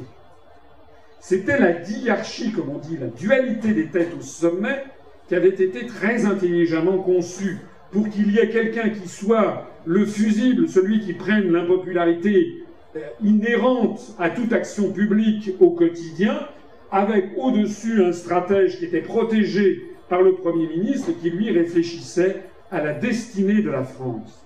C'est tout ceci que le passage au quinquennat a saboté, puisque de coup du coup le pouvoir du chef de l'État a été saboté, notamment son pouvoir de s'opposer à l'oligarchie financière euro-atlantiste.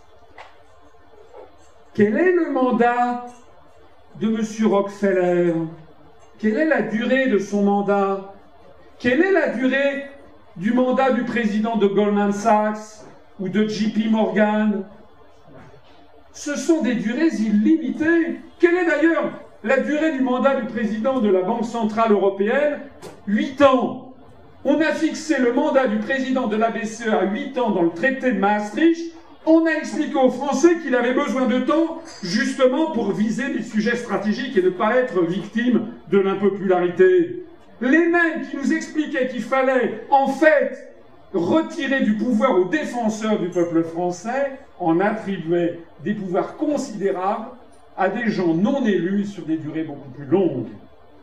Le résultat, c'est que le président de la République est devenu en fait un Premier ministre qui n'a plus le temps de réfléchir à la stratégie, Quant au Premier ministre, c'est devenu un directeur de cabinet du président sans aucune autorité.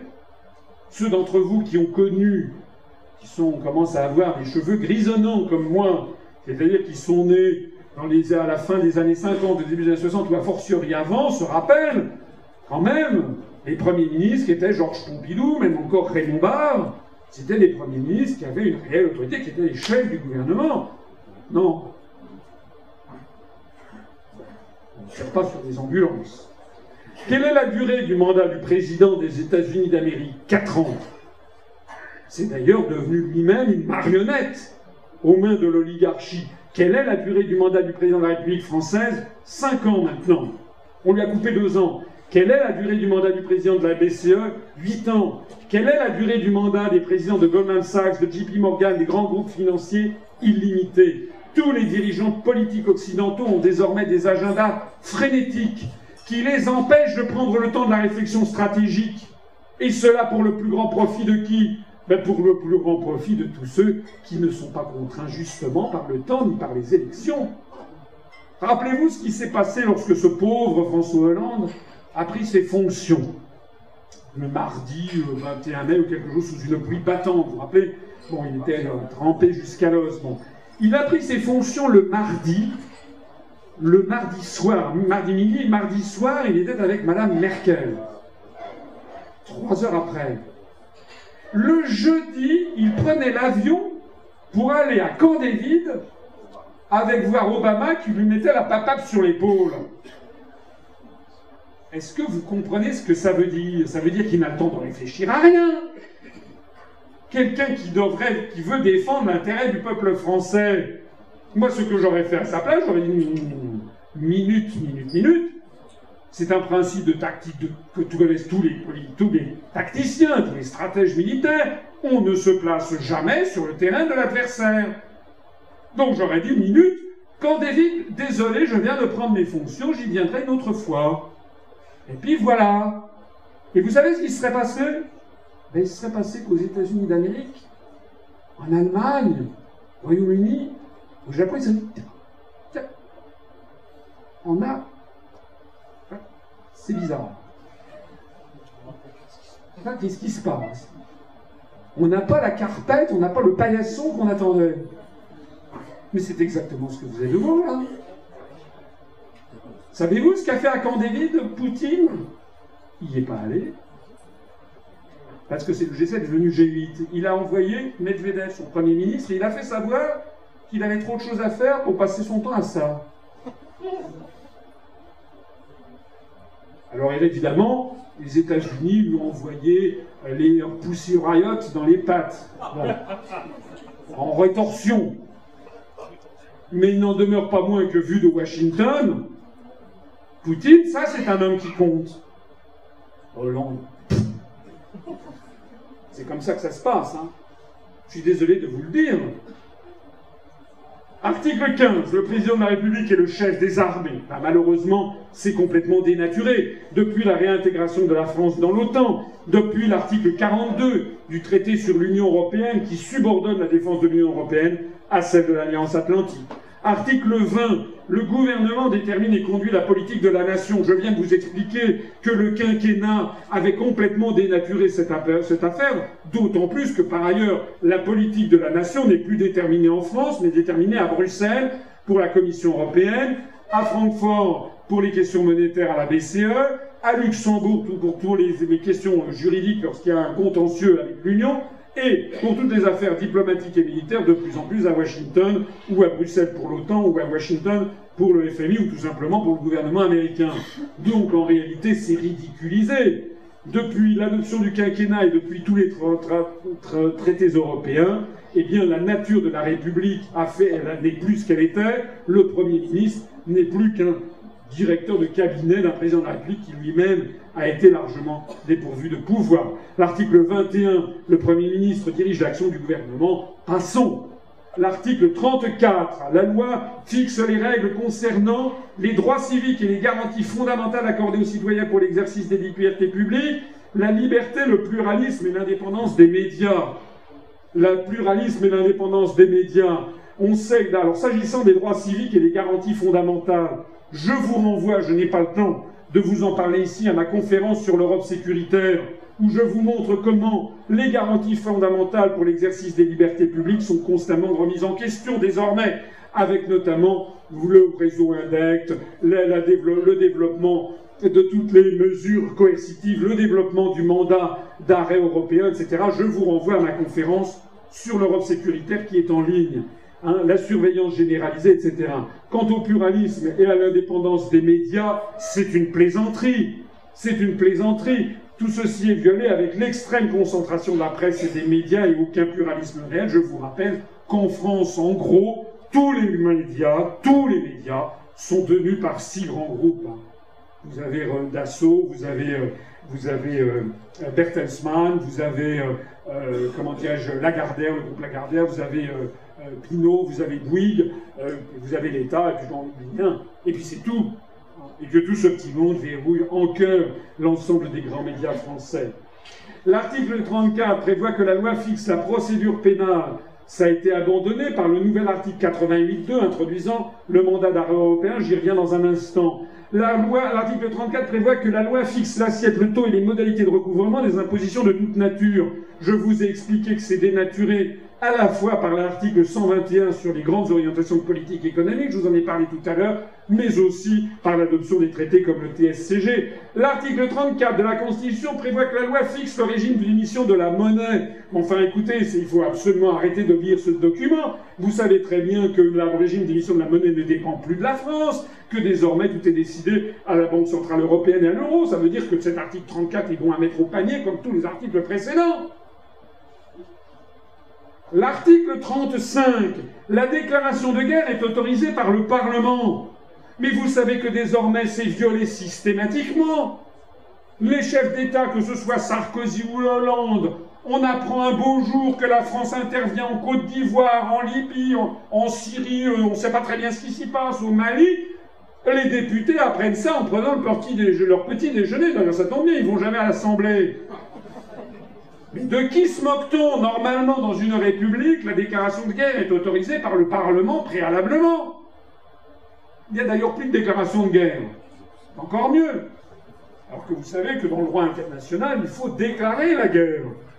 C'est un héritage de l'esprit chevaleresque du Moyen Âge, codifié par Crossius, codifié par les juristes du droit international. Désormais, les guerres se mènent sans qu'on sache qu'on est en guerre. Je rappelle dans ma conférence qui gouverne la France, c'est pas moi qui le dis, c'est François Mitterrand, la France est en guerre et les Français ne le savent pas. Après 14 ans à l'Élysée, Mitterrand a adressé ce constat, la France est en guerre, les Français ne le savent pas. Les Américains, ils veulent un pouvoir sans partage sur le monde. Je vous renvoie à ma conférence avec la citation, c'est tiré du livre Le dernier Mitterrand, interview avec Georges-Marc Benamou, journaliste du Nouvel Observateur. Ça n'est pas moi qui le dis, hein. c'est François Mitterrand qui a été 14 années à la tête de la République française. Donc nous sommes en guerre et nous avons donc des, des opérations militaires qui sont lancées en violation de l'article 35 de façon systématique. Alors maintenant, j'avance. J'avance d'ailleurs vers la fin de cette conférence. ne pas vous lasser.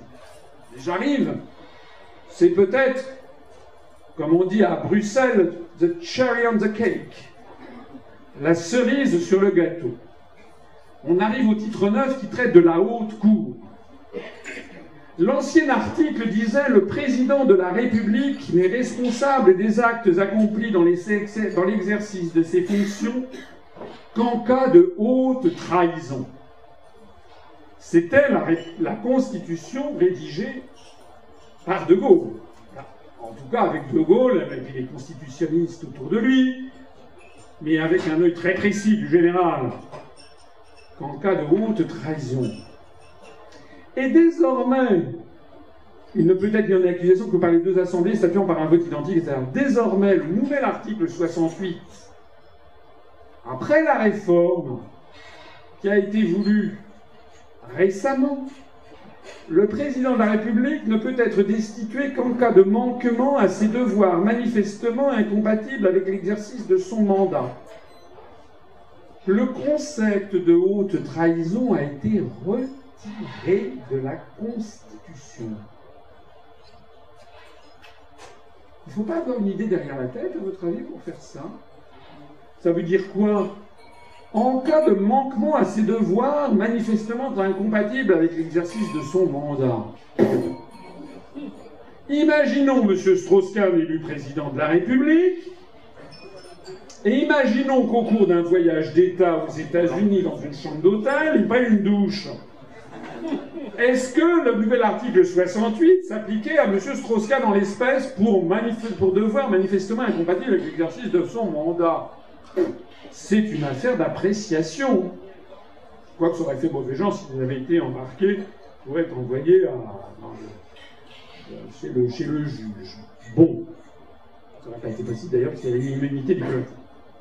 Enfin, vous voyez bien que pour avoir retiré, au cours d'un toilettage, comme on dit, on toilette, vous savez, comme si c'était quelqu'un qui sentait mauvais, on toilette la Constitution, oui, oui, ne vous inquiétez pas, c'est un simple toilettage, dit-on à la, à, à la cantonade, on a retiré le terme de haute trahison.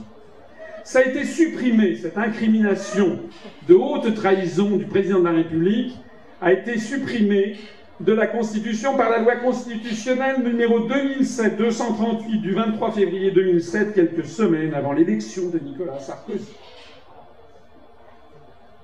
Tel quel. On continue sur l'article 68. La Haute Cour est présidée par le président de l'Assemblée nationale. Elle statue dans un délai d'un mois, tati tata, les présiditions prises. L'ancien article 68 du temps de Gaulle était assez. Euh, était, court.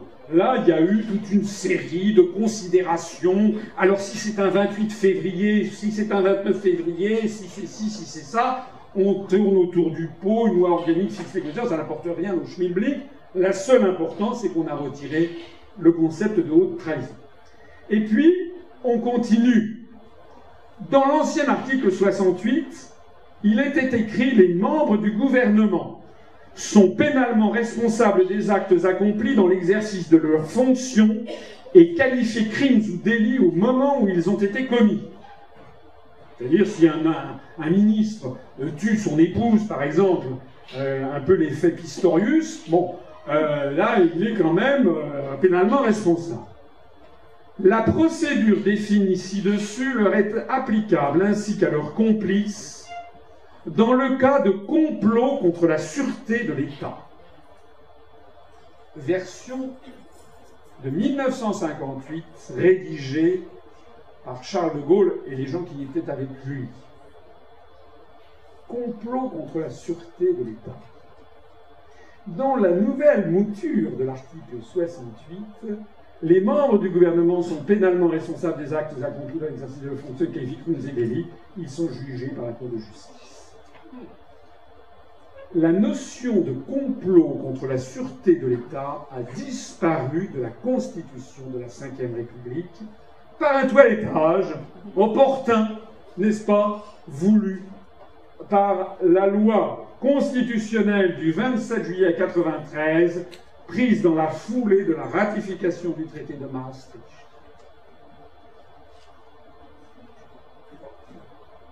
Alors moi je dis que ceux qui ont fait ça, eh bien, il n'y a pas de hasard. Hein.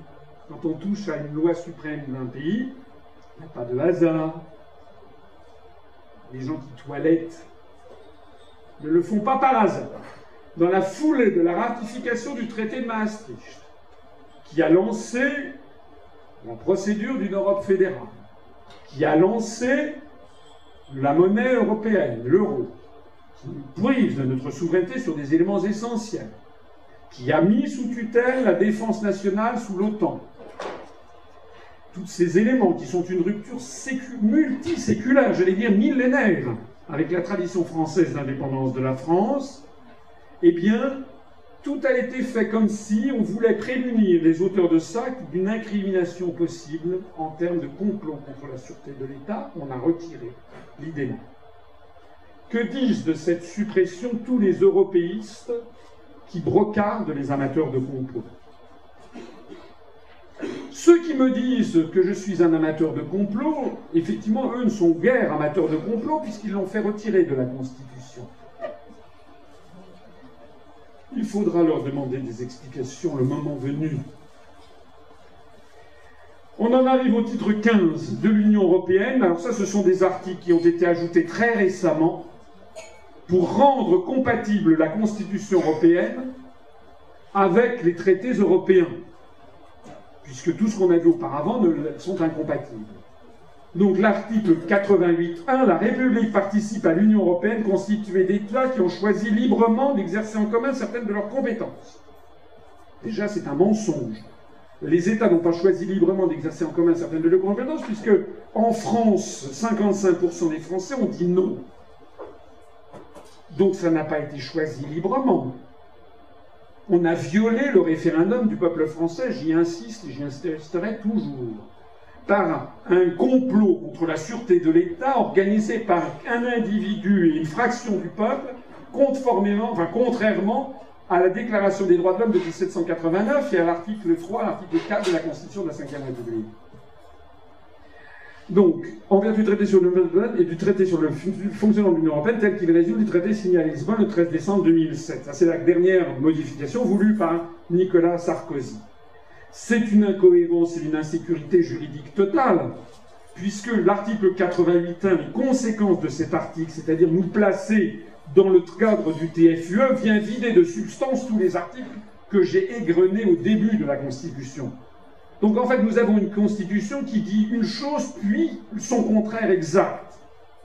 Cet article a été créé, puis modifié cinq fois en 20 ans. C'est-à-dire une fois tous les quatre ans en moyenne, ce qui témoigne de cette insécurité. C'est comme une boussole qui s'affole. À chaque fois que l'on a fait un nouveau traité, il a fallu introduire ça dans la Constitution. Ça a été, cet article 88.1 a été créé puis modifié le 26 juin 1992, avant la ratification du traité de Maastricht.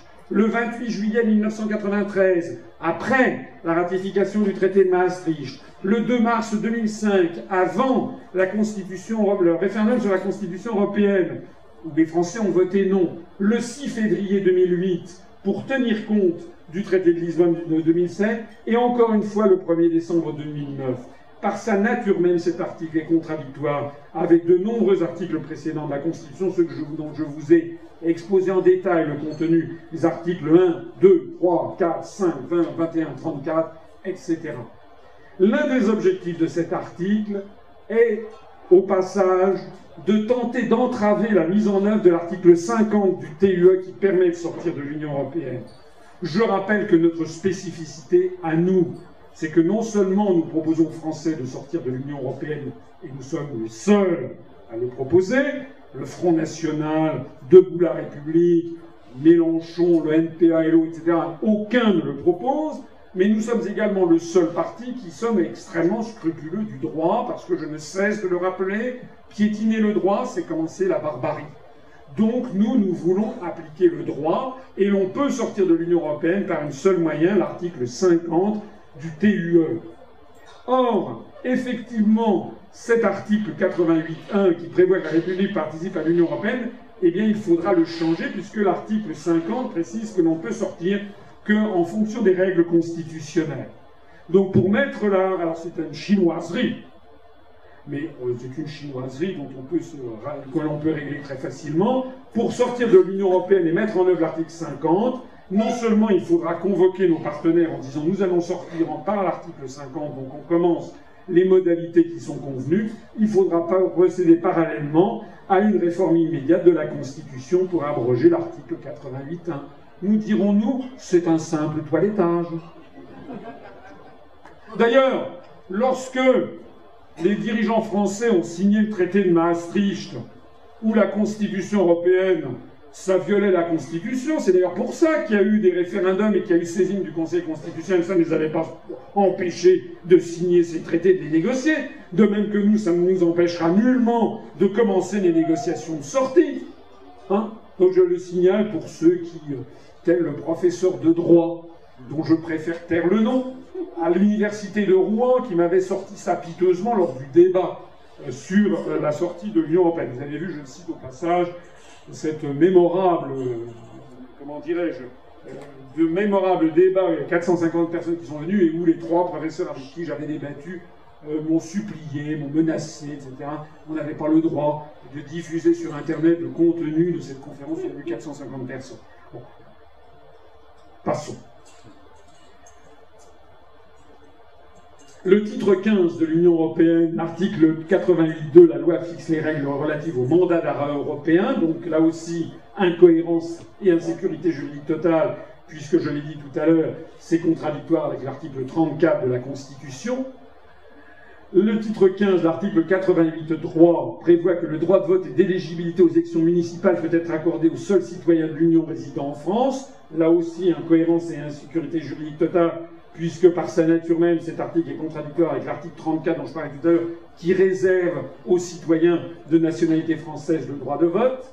Et puis on en arrive au dernier article de la Constitution. J'en ai sauté, hein. Tous les articles ne méritent pas qu'on s'y arrête. Enfin, j'en ai quand même égrené avec vous un grand nombre. L'article 89 sur la révision de la Constitution, qui explique que la révision de la Constitution appartient au président de la République sur proposition du Premier ministre, aux membres du Parlement, etc., etc. Que le projet de, projet de, la, projet de révision doit être examiné euh, euh, la révision est définie après avoir été approuvée par référendum, que toutefois le projet de révision n'est pas présenté au référendum si on le soumet au Parlement convoqué en congrès. C'est comme ça, par ce genre d'artifice, que l'on a soustrait aux Français des décisions absolument décisives. Le dernier point, la forme républicaine du gouvernement ne peut faire l'objet d'une révision. Eh bien, je suis désolé, j'ai prouvé, me semble-t-il, au cours de cette conférence, que cet article est violé, puisque justement, il est constamment violé puisque la forme républicaine du gouvernement n'est plus qu'une illusion, hein, puisque tous les articles, les principaux articles, les articles les plus essentiels hein, en termes de, philosophie politique, de philosophie de droit constitutionnel, sont violés en définitive. Alors, maintenant que l'on a passé en revue ce texte galvaudé, violé, piétiné, ridiculisé, abandonné, trahi. Enfin, là que notre Constitution euh, n'est plus qu'un texte qui n'a plus aucune euh, force, concrète. Je voudrais en arriver, me permettra, dire ce que je pense, à ce que j'appelle les bonimenteurs de la sixième République. Quand je faisais la campagne présidentielle, avorté, puisque j'ai eu 17 parrainages, je rencontrais des gens qui me disaient ce que vous dites très bien, mais qu'est-ce que vous pensez de la sixième République? Je leur répondais invariablement, et que pensez-vous de la septième? C'est très grave. On fait, on manipule les Français par des slogans. Que pensez-vous de la sixième République? Qu'est-ce que ça veut dire? Qu'est-ce qu'il y a dedans? Vous mettez quoi dedans? Alors qu'il faisait référence à quoi ces gens, qui étaient d'ailleurs parmi nous des, adhérents, des sympathisants, des militants? Je ne leur en veux pas. Ils étaient victimes d'une espèce de brouillard médiatique, entretenu notamment et largement par M. Mélenchon. La sixième République de Jean-Luc Mélenchon, le candidat du Front de gauche, c'est le point du 19 mars 2012, donc quelques semaines avant le premier tour de l'élection présidentielle, le candidat du Front de gauche a développé sa conception d'une sixième république.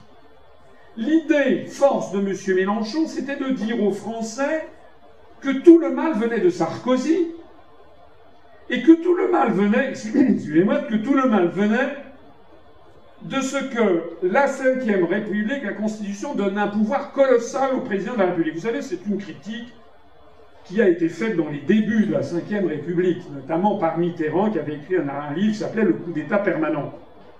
Le petit problème, c'est que c'est vrai que Charles de Gaulle s'était attribué, si l'on peut dire, avait attribué pas seulement à lui, mais à tout président de la République, un pouvoir très important. De Gaulle l'avait. La compensation, c'est que De Gaulle se faisait une haute idée de la fonction, et il considérait que s'il n'avait pas l'appui massif des Français, il démissionnait, c'est ce qu'il a fait. En 1969, rien ne le forçait à présenter sa démission, mais comme il a fait un référendum où le oui qui proposait n'a obtenu que 47% des suffrages, il a immédiatement présenté sa démission parce qu'il a estimé, non sans grandeur, qu'il ne pouvait plus décemment exercer les, le pouvoir que lui donnait la Constitution alors qu'il avait été désavoué par une majorité des Français. C'est bien entendu ce que n'a pas fait M. Mitterrand une fois arrivé au pouvoir, puisque lui qui avait dénoncé le coup d'État permanent, lorsqu'il a été battu aux élections législatives de 86, il s'est accroché au pouvoir. Mais cette lecture de la Constitution de la Ve République, première mouture dans les premières années, dans les années 60-70, n'a plus de sens, puisque je vous ai montré que la Ve République n'est plus qu'un fantôme, compte tenu de ce que tout, elle a été entièrement vidée de sens. C'est néanmoins ce que fait M. Mélenchon, voilà ce qu'il expliquait sur BFM TV. Il proposait quoi pour sortir la France de la panade? Retour à un régime d'assemblée. Vous pensez comme ça va faire sortir la France de la panade De donner plus de pouvoir aux parlementaires. Le problème des parlementaires, c'est qu'ils n'en ont pas, puisque tous les pouvoirs sont décidés à Bruxelles. Introduction de nouveaux droits fondamentaux de la personne, telles sont les principales propositions du projet de sixième République de Jean-Luc Mélenchon. C'est quoi? Pour Jean-Luc Mélenchon, il est impératif d'inscrire dans la Constitution, mais attendez, c'est pas moi qui invente, hein, ça vaut le coup de refaire un petit flashback, comme on dit, de faire un petit retour en arrière.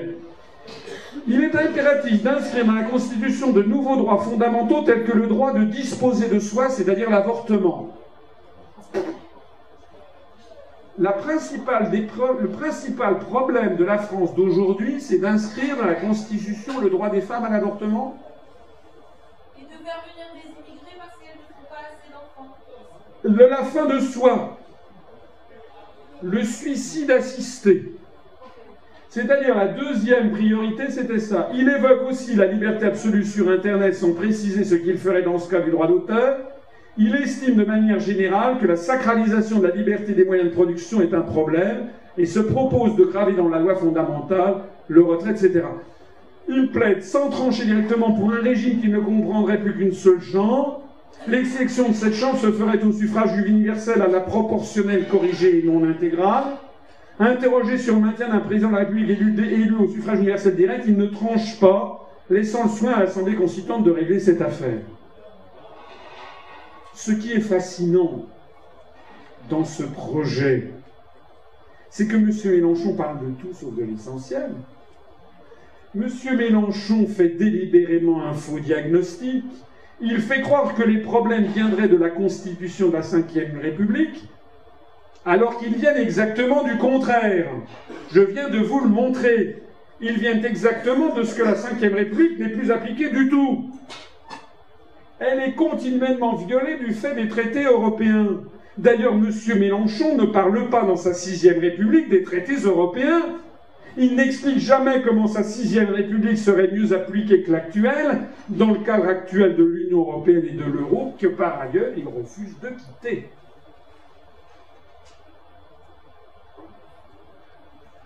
Parmi les bonimenteurs de la sixième république, il y en avait un autre qui était M. Arnaud Montebourg qui avait fait campagne en 2012 avec un slogan, la Nouvelle France.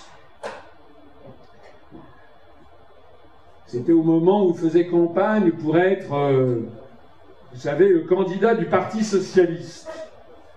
La thématique En marche vers la sixième République, décidément. C'était l'idée force. Hein. La sixième République est née de l'échec de la quatrième dans un contexte de crise et de guerre où un exécutif puissant était nécessaire afin de redonner toute son efficacité à l'action publique. Était nécessaire. Maintenant, c'est plus nécessaire. Donc le diagnostic de M. Montebourg, c'est que l'exécutif est trop puissant. Il trouve qu'en France, le président de la République est trop puissant le paradoxe de l'omnipotence présidentielle, un Parlement soumis, etc., etc. Bref, le problème pour M. Montebourg, avant l'élection présidentielle, précisons-le, tout le problème venait de ce que le président de la République, selon les institutions, avait trop de pouvoir. Et que le Parlement était soumis. Là aussi, comme pour M. Mélenchon, pas un mot, pas un, sur l'Union européenne, sur les traités européens, sur les décisions prises à Bruxelles, à Francfort, à Washington. Rien.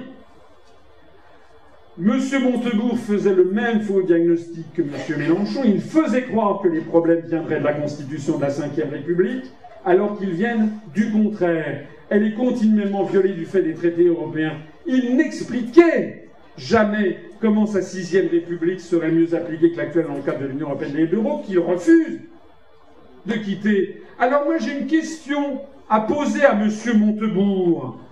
C'est que ce M. Montebourg, il proposait, avant l'élection présidentielle, la sixième République, parce que, paraît-il, le président de la République avait trop de pouvoir. Alors, nom d'une pipe, maintenant que M. Montebourg est ministre, auprès de M. Hollande, eh bien, M. Hollande a trop de pouvoir. Il a donc un pouvoir considérable, d'après l'analyse de M. Montebourg de 2012. Alors donc, qu'est-ce qu'ils attendent pour mettre un terme aux délocalisations? Qu'est-ce qu'ils attendent pour mettre un terme à la destruction de l'économie française, puisqu'ils sont au pouvoir? Et puisque leur problème, paraît-il, c'était que le président avait trop de pouvoir Qu'ils en profitent, non d'une pipe, puisque maintenant c'est plus Sarkozy, c'est eux. Qu'ils en profitent En réalité, vous savez ce que fait M. Montebourg Il se met des, t-shirts. Il appelle un Made in France avec un, un appareil photo fabriqué Made in China. Vous l'avez vu ça? Mais il a sa voiture, son chauffeur, les sièges en cuir chauffant l'hiver, et le tableau de bord en loupe d'or, sans compter le gyrophare. C'est ça qui est important. Monsieur Montebourg s'est moqué de vous, de nous, comme Monsieur Mélenchon.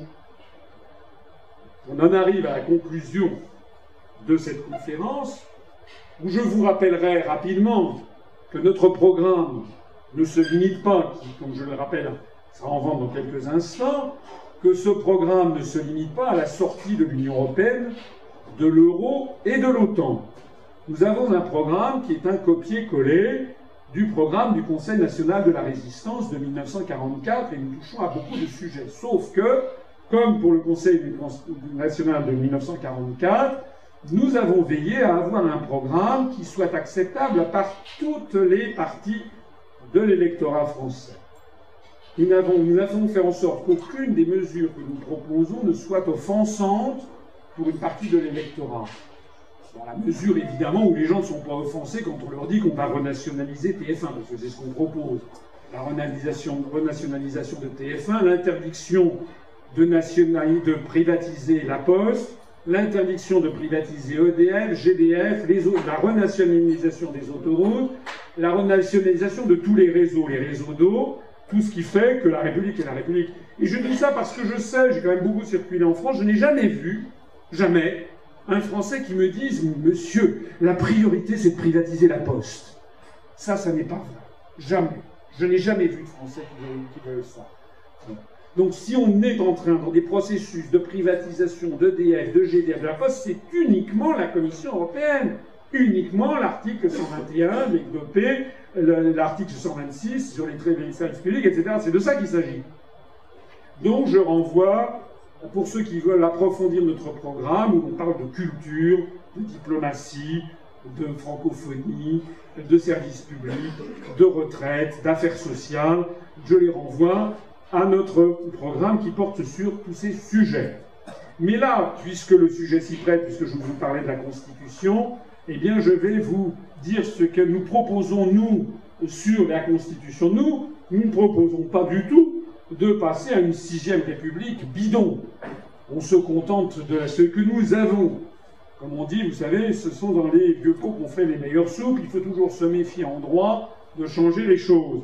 En revanche, ce que nous, nous voulons, c'est revenir à un état d'esprit qui soit beaucoup plus proche, sans revenir à 1958, parce que le temps a changé, il y a des choses qui ont évolué sur lesquelles nous ne reviendrons pas, mais nous, on veut d'abord rendre aux Français la plénitude de la démocratie et de la République. Ça passe non pas par une sixième République, style Mélenchon ou style Montebourg à, à Madame Pulvar, nous, on est par, pour la sortie de l'Union européenne et par une réforme constitutionnelle de grande ampleur.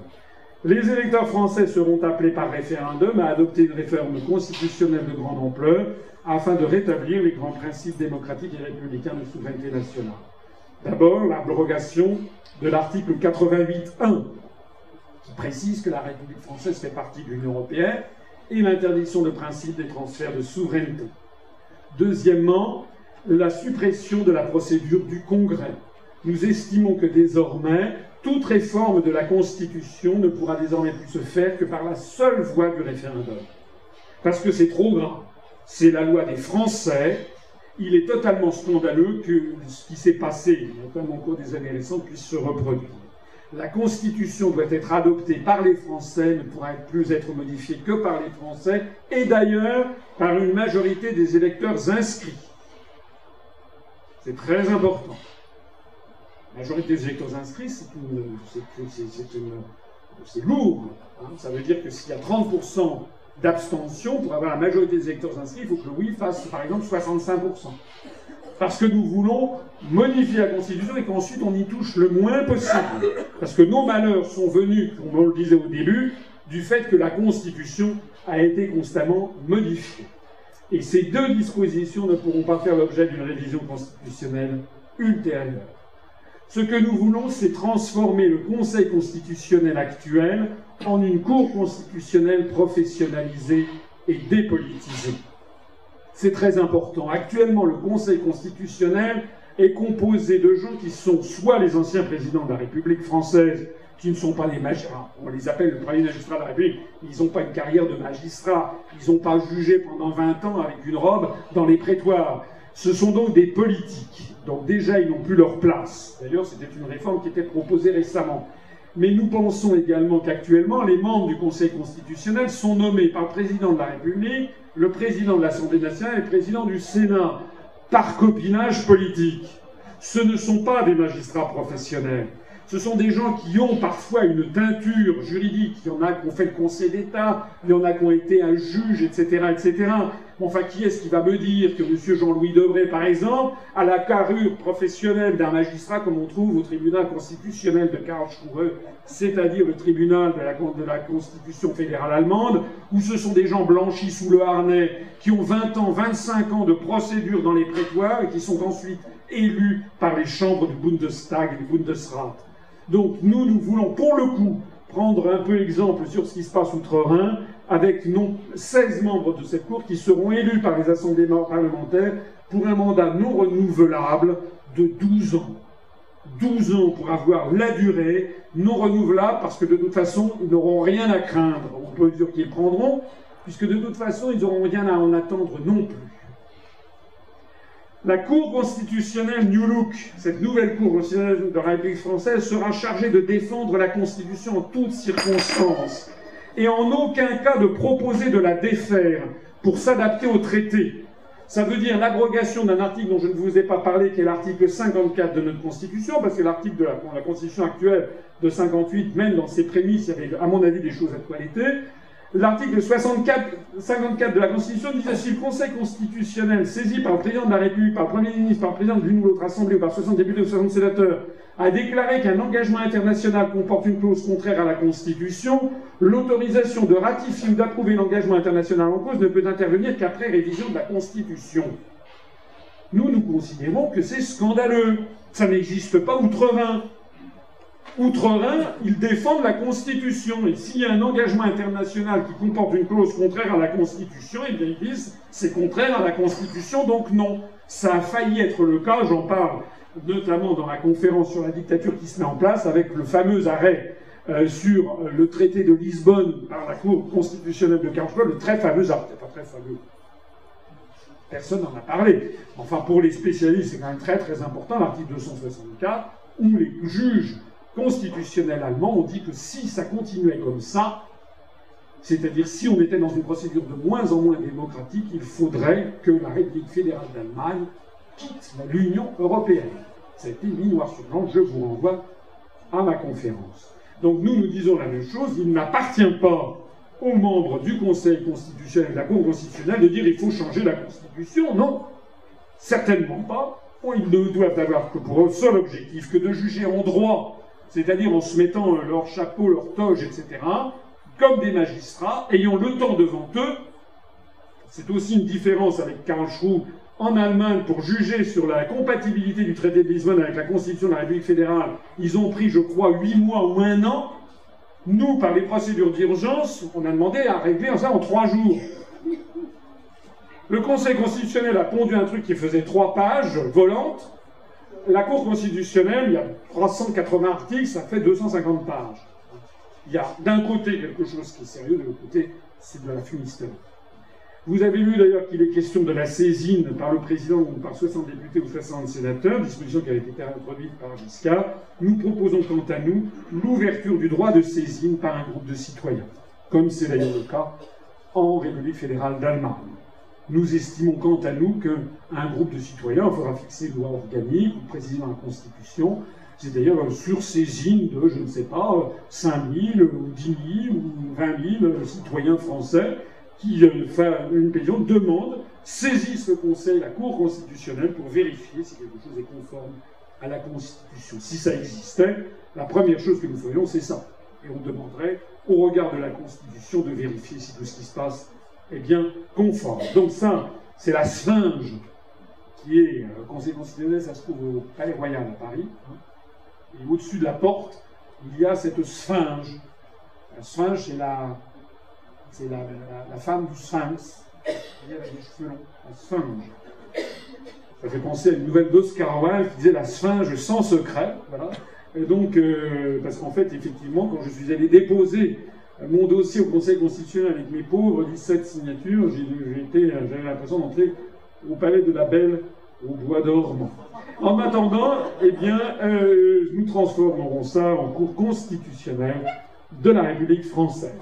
Nous instaurerons le référendum d'initiative populaire parce que, conformément à la, Déclaration des droits de l'homme euh, de 1789 qui précise que le peuple, le peuple peut chaque citoyen peut exercer son propre pouvoir, eh bien, on ne voit pas pourquoi il n'y aurait pas un référendum d'initiative populaire qui, ma foi, existe dans des pays comme la Suisse ou comme euh, euh, l'État de Californie.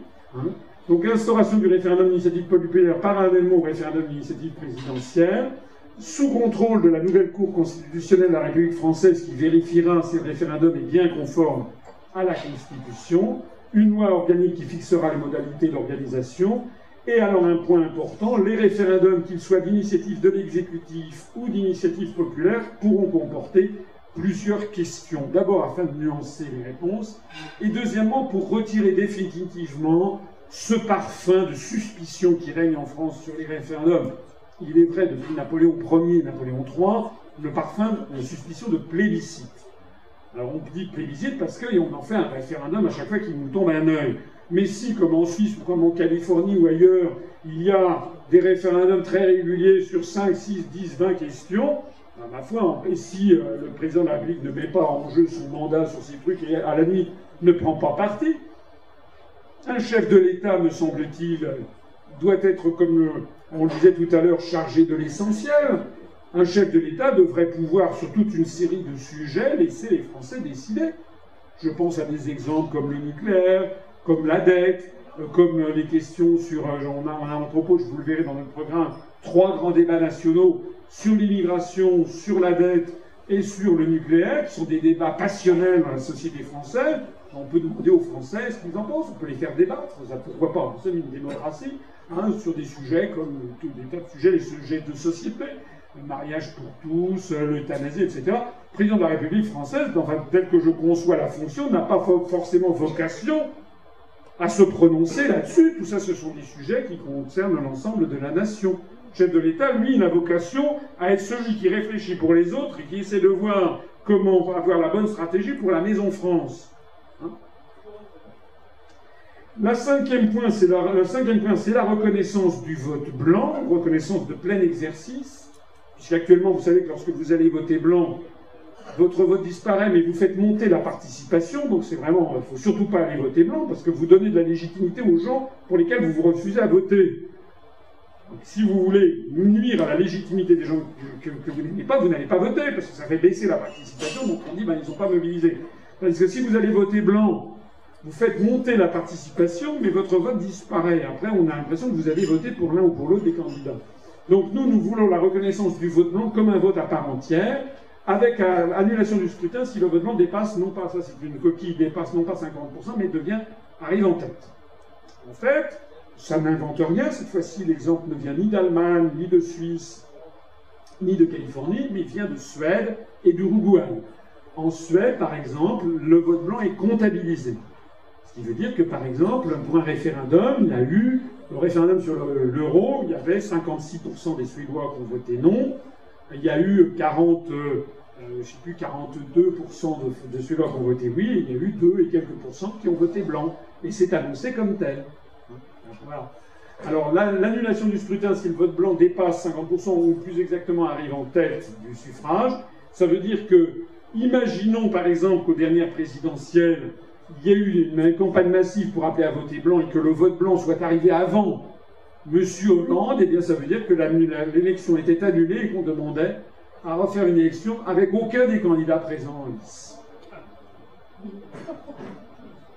C'est exact, ça s'est déjà produit dans une municipalité de l'Uruguay, où c'est arrivé, je ne dis pas que ça arrive souvent, le cas est quand même rare, mais ça donnerait d'un seul coup beaucoup d'intérêt à l'élection, à l'élection, toutes les élections d'ailleurs.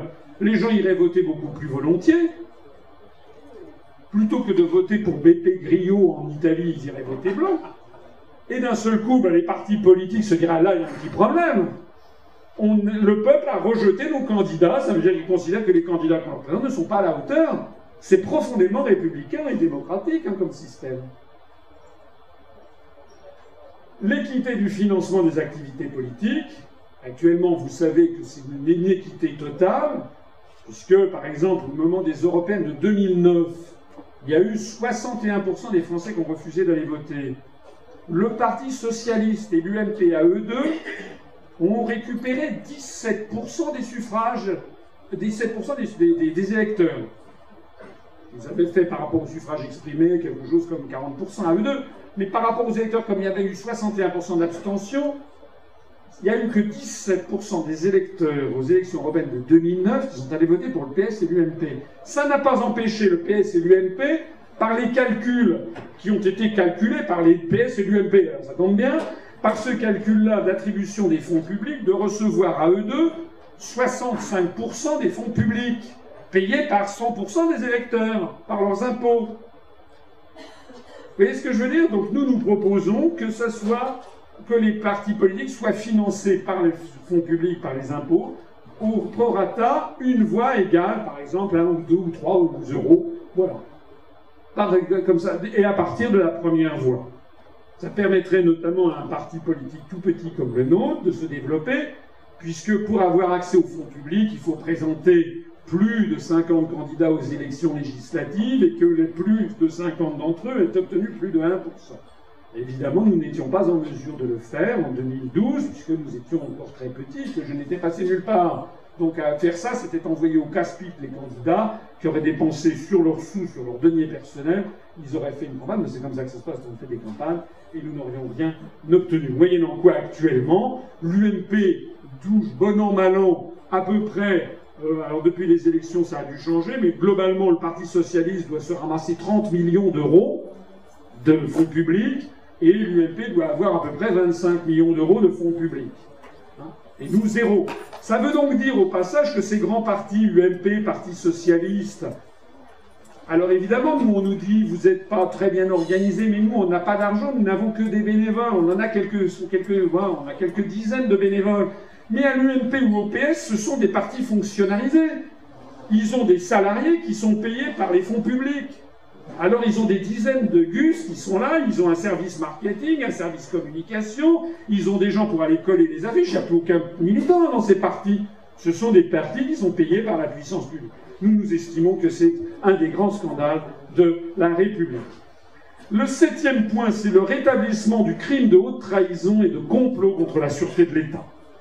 Nous estimons quant à nous que ces, termes ont été indûment retirés de la Constitution française, qu'il n'y a pas de raison pour les retirer, ou que s'il y, a eu des raisons, ben, elles sont très inquiétantes, que nous, nous n'avons rien à cacher, que nous, nous n'avons pas envie de commettre d'autres trahisons et de crimes contre la sûreté, et de complots contre la sûreté de l'État, et donc nous allons les rétablir, en précisant d'ailleurs la signification juridique de ces incriminations.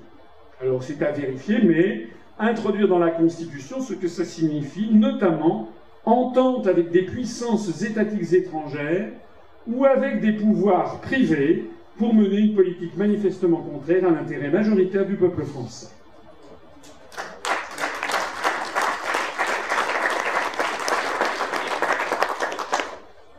Et puis enfin, la réforme du statut de l'élu, avec l'interdiction du cumul des mandats électifs quels qu'ils soient, la suppression du cumul des rémunérations pour les élus qui exercent plusieurs mandats, ils ne retiendront que celui qui est le mieux payé, du coup ils auront moins envie de cumuler les mandats. Le principe général de limitation à un seul renouvellement pour tous les mandats électifs quels qu'ils soient, parce que M. Sarkozy est dans un état de dévention et d'adoration tel devant les États-Unis d'Amérique qu'il a fait introduire dans la Constitution française, qui n'y existait pas auparavant, le principe que le président de la République ne peut pas être élu plus de deux fois. C'est un copier-coller de la disposition de l'amendement, je ne sais plus combien, 22 ou autre, de la Constitution américaine. Vous savez que Franklin Roosevelt a été quatre fois président des États-Unis. Donc après, sous Truman, les Américains ont dit ça suit comme ça, pas plus de deux fois. Donc M. Sarkozy a décidé de faire pareil pour la France. Très bien. Ben, bon, moi je n'y suis pas spécialement favorable, mais on ne remettra pas ça en cause, mais en revanche on propose d'étendre ça à tout le monde. Parce que finalement, être deux fois député, c'est-à-dire deux fois cinq ans pendant dix ans, ben c'est bien. C'est bien. Pourquoi y aurait-il des gens qui seraient députés à vie Pendant 30 ans députés Après ça, pour passer ça à leur fille, ou à leur fils, ou à leur gens, ou à leur grand-mère? Non. Non, mais on peut en citer des quantités de. On dit qu'il faut il y ait davantage de Français qui s'investissent dans la politique. On dit qu'il faut, alors il y a des gens qui trouvent des quantités de trucs bracadabrantesques, tirage au sort et autres. Bon, nous, on ne propose pas ça, on propose des choses beaucoup plus simples. Limitons à un seul renouvellement les conseillers généraux, les conseillers régionaux, les maires, les députés, les sénateurs. vous verrez, ça fera d'un seul coup un brassage d'élus de, considérable.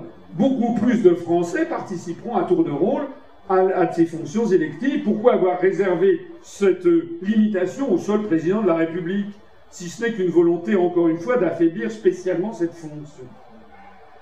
Le principe, par ailleurs, de l'inéligibilité à vie des responsables publics condamnés pour corruption. Il n'y a pas de raison. Il n'y a pas de raison, il n'y a pas de raison pour que des gens qui ont été condamnés en tant qu'élus pour des actes de corruption soit condamné à être inéligible pour 5 ans. Je suis désolé, non. On peut vivre sans être élu. Hein. C'est quand même la, grande majorité des Français n'ont jamais de mandat électif dans leur vie. Donc quelqu'un qui, ayant élu un mandat électif, est condamné pour corruption, ben c'est terminé. Voilà. Et puis il peut faire autre chose. Hein. Il peut venir, je ne sais pas, moi, il peut ouvrir un commerce, il peut, faire des, il peut écrire des poèmes, il peut aller s'installer euh, en Uruguay, comme avait fait Jacques Médecin. Non, il y a des tas de choses qui sont ouvertes dans le monde. On peut très bien vivre sans être élu, surtout si on a pioché dans la caisse sept ans avant. Principe de l'examen périodique de l'existence ou non de conflits d'intérêts. Et puis enfin, pour le service public, et je l'ai dit tout à l'heure, me semble-t-il, en tout cas je le confirme, l'inscription dans la Constitution française des services publics non privatisables par nature. Non pas que notre mouvement politique soit un mouvement spécialement de gauche ni marxiste, nous ne sommes pas non plus spécialement de droite ni libéraux, nous sommes un parti qui voulons rassembler les Français sur leur plus grand dénominateur commun celui du Conseil national de la résistance de 1944. Or, les Français, ça ne date pas d'hier, ça ne date pas de la libération, ça date, je le rappelle souvent, de Louis IX, en 1245, quand il a créé les établissements de commun profit, c'est-à-dire la première fois qu'il y avait des hospices publics ouverts aux manants. Les paysans, les gens qui étaient illettrés, etc., qui ne savaient pas soigner, le roi, le bon roi Louis IX, a ouvert des hospices où ils étaient soignés, avec la science médicale du milieu du XIIIe siècle, mais c'était inimaginable pour les Français de l'époque. Pour ça d'ailleurs qu'ils ont demandé et obtenu sa canonisation, c'est devenu Saint-Louis. C'est ça les premiers services publics. Donc en France, les Français ont besoin d'égalité. Les Français, c'est un peuple qui, beaucoup plus qu'aucun autre peuple au monde, a besoin d'égalité de traitement face au grand drame au grand bonheur de la vie. Face à la naissance, à la maladie et à la mort, les Français ont besoin de ça, de services publics puissants on a le droit d'être comme on est. Je ne vois pas pourquoi Goldman Sachs, JP Morgan et la Commission voudraient absolument que les Français privatisent leurs postes, EDF, GDF et puis leurs hôpitaux. Donc nous nous inscrirons dans la Constitution française des services publics non privatisables. Ça ne veut pas dire qu'on va avoir une économie euh, entièrement, euh, comment dirais-je, étatisée, pas du tout. Hein, l'économie n'était pas étatisée sous, euh, sous Giscard, sous, voilà, c'était une économie mixte qui convient bien au génie des Français. Je termine cette conférence, comme je le fais en général, en vous présentant un exemplaire de ma collection personnelle de médailles. J'ai une faiblesse, c'est ce qu'on appelle la phaléristique, c'est-à-dire la collection des médailles.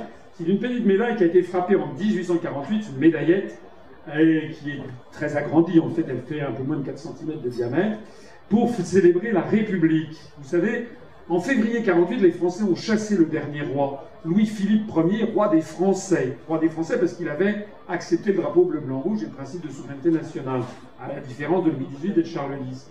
Et donc, la République apparaît, on vous la voit ici dessinée sur cette médaille, avec un air de Cérès, vous savez, ou de Déméter, cette déesse euh, de l'Antiquité gréco-romaine. Voilà, c'est la République française avec une espèce d'idéal antique. typique de la pensée des républicains de l'époque. Et puis, au revers, vous avez inscrit 1848, 4 mai, c'est la réunion, la première réunion de l'Assemblée nationale de la République, puisque la Deuxième République est proclamée, c'est la chute définitive de la monarchie, et il y a marqué au revers de cette médaille, donc, 4 mai 1848, Assemblée nationale, la puissance législative appartient au peuple et ne peut appartenir qu'à lui. Eh bien voilà ce qu'en fait nous proposons. La puissance législative et la puissance de décider de notre pays ne doit appartenir au peuple et ne doit appartenir qu'à lui. L'UEPR invite les Français à rétablir la République et la démocratie. Et tout ceci, eh bien, nous vous invitons à nous rejoindre, et ça sera le mot de la fin, le mot de la fin que je laisserai à Max Frisch, un essayiste suisse. Il y a pire que le bruit des bottes, c'est le silence des pantoufles. Alors je vous en conjure, notamment ceux qui me connaissent, qui nous connaissent depuis maintenant plusieurs mois, ne vous précipitez pas. Si vous nous découvrez aujourd'hui ou depuis une semaine, ne vous précipitez pas. Allez voir qui nous sommes. Mais si ça fait cinq mois, six mois que vous nous connaissez, je vous en conjure. Comprenez que l'affaire est grave. Comprenez que la pire des choses qui puissent se faire, c'est de ne rien faire. Il y a pire que le des bottes, le silence des pantoufles. Sortir de la destruction européenne, ça commence par adhérer à l'UPR. Je vous remercie de votre attention.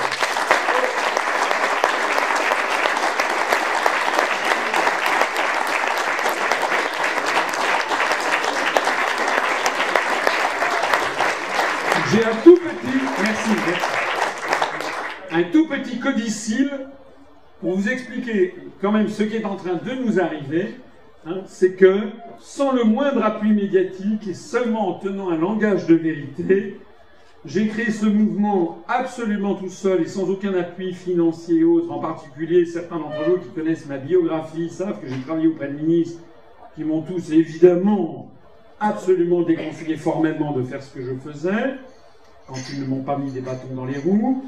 À la fin, donc euh, en 25 2007, à la fin 2007, nous avions à peu près 47 adhérents. À la fin 2008, nous en avions 88, ça arrive. À la fin 2009, nous en avions, non pas 149, mais 150. À la fin 2010, 357. À la fin 2011, 707. Et à la fin 2012, 2158. Et ce sont les vrais chiffres, pas les vrais nombres. 2158. Et ça, c'était le 31 décembre.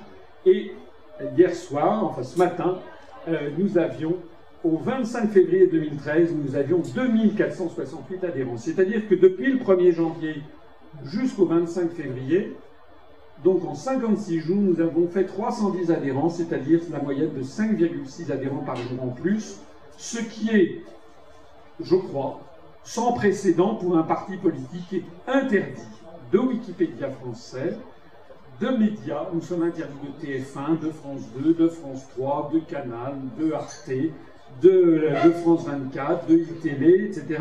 Nous sommes interdits du Monde, du Figaro, du Nouvel Observateur, du Point, de l'Express. Nous sommes interdits des échos, nous sommes interdits de tout. Voilà. Alors nous sommes interdits de tout, mais nous arrivons à ça. Euh, eh bien, je vous suggère d'y réfléchir. Pour ceux d'entre vous qui auraient, merci, pour ceux d'entre vous qui euh, décideraient de nous rejoindre, d'abord vous ne le regretterez pas, vous verrez que les gens chez nous sont comme je suis, c'est-à-dire francs, direct. Et deuxièmement, nous avons des formulaires d'adhésion hein, qui sont à votre disposition à la fin. Ça n'est pas la mer à boire, c'est extrêmement important pour nous parce que nous sommes suivis, il faut quand même le savoir, nous sommes extrêmement suivis. D'ailleurs, je salue au passage la personne qui représente ici le SDIG, le successeur des renseignements généraux, donc je, lui, transmets mes amitiés de fonctionnaire à fonctionnaire. Et donc, euh, non, j'ai dit nous sommes suivis parce que nous avons quand même, au cours par exemple des 18 premiers jours du mois de janvier, on avait fait une étude, c'était Patrick d'ailleurs qui, je crois, l'avait vu, il y avait eu sur notre site internet, notre seul site internet, il y avait eu 24 connexions en provenance du journal Le Monde, qui par ailleurs ne nous connaît pas, mais qui est venu 24 fois en 18 jours. Nous avons eu également, hein, je parle sous votre contrôle, nous avons eu 24 connexions de la Commission européenne. 24 connexions également du ministère français des Affaires étrangères. Je signale que nous avons d'ailleurs des, fonctionnaires du ministère des Affaires étrangères qui ont adhéré sous le sceau de l'anonymat, bien entendu. Les gens peuvent garder leur anonymat. Nous avions eu également 18 connexions venues du ministère de l'Intérieur, et nous avions eu trois connexions venues de la présidence de la République. Madame Trierweiler doit s'ennuyer. Merci beaucoup.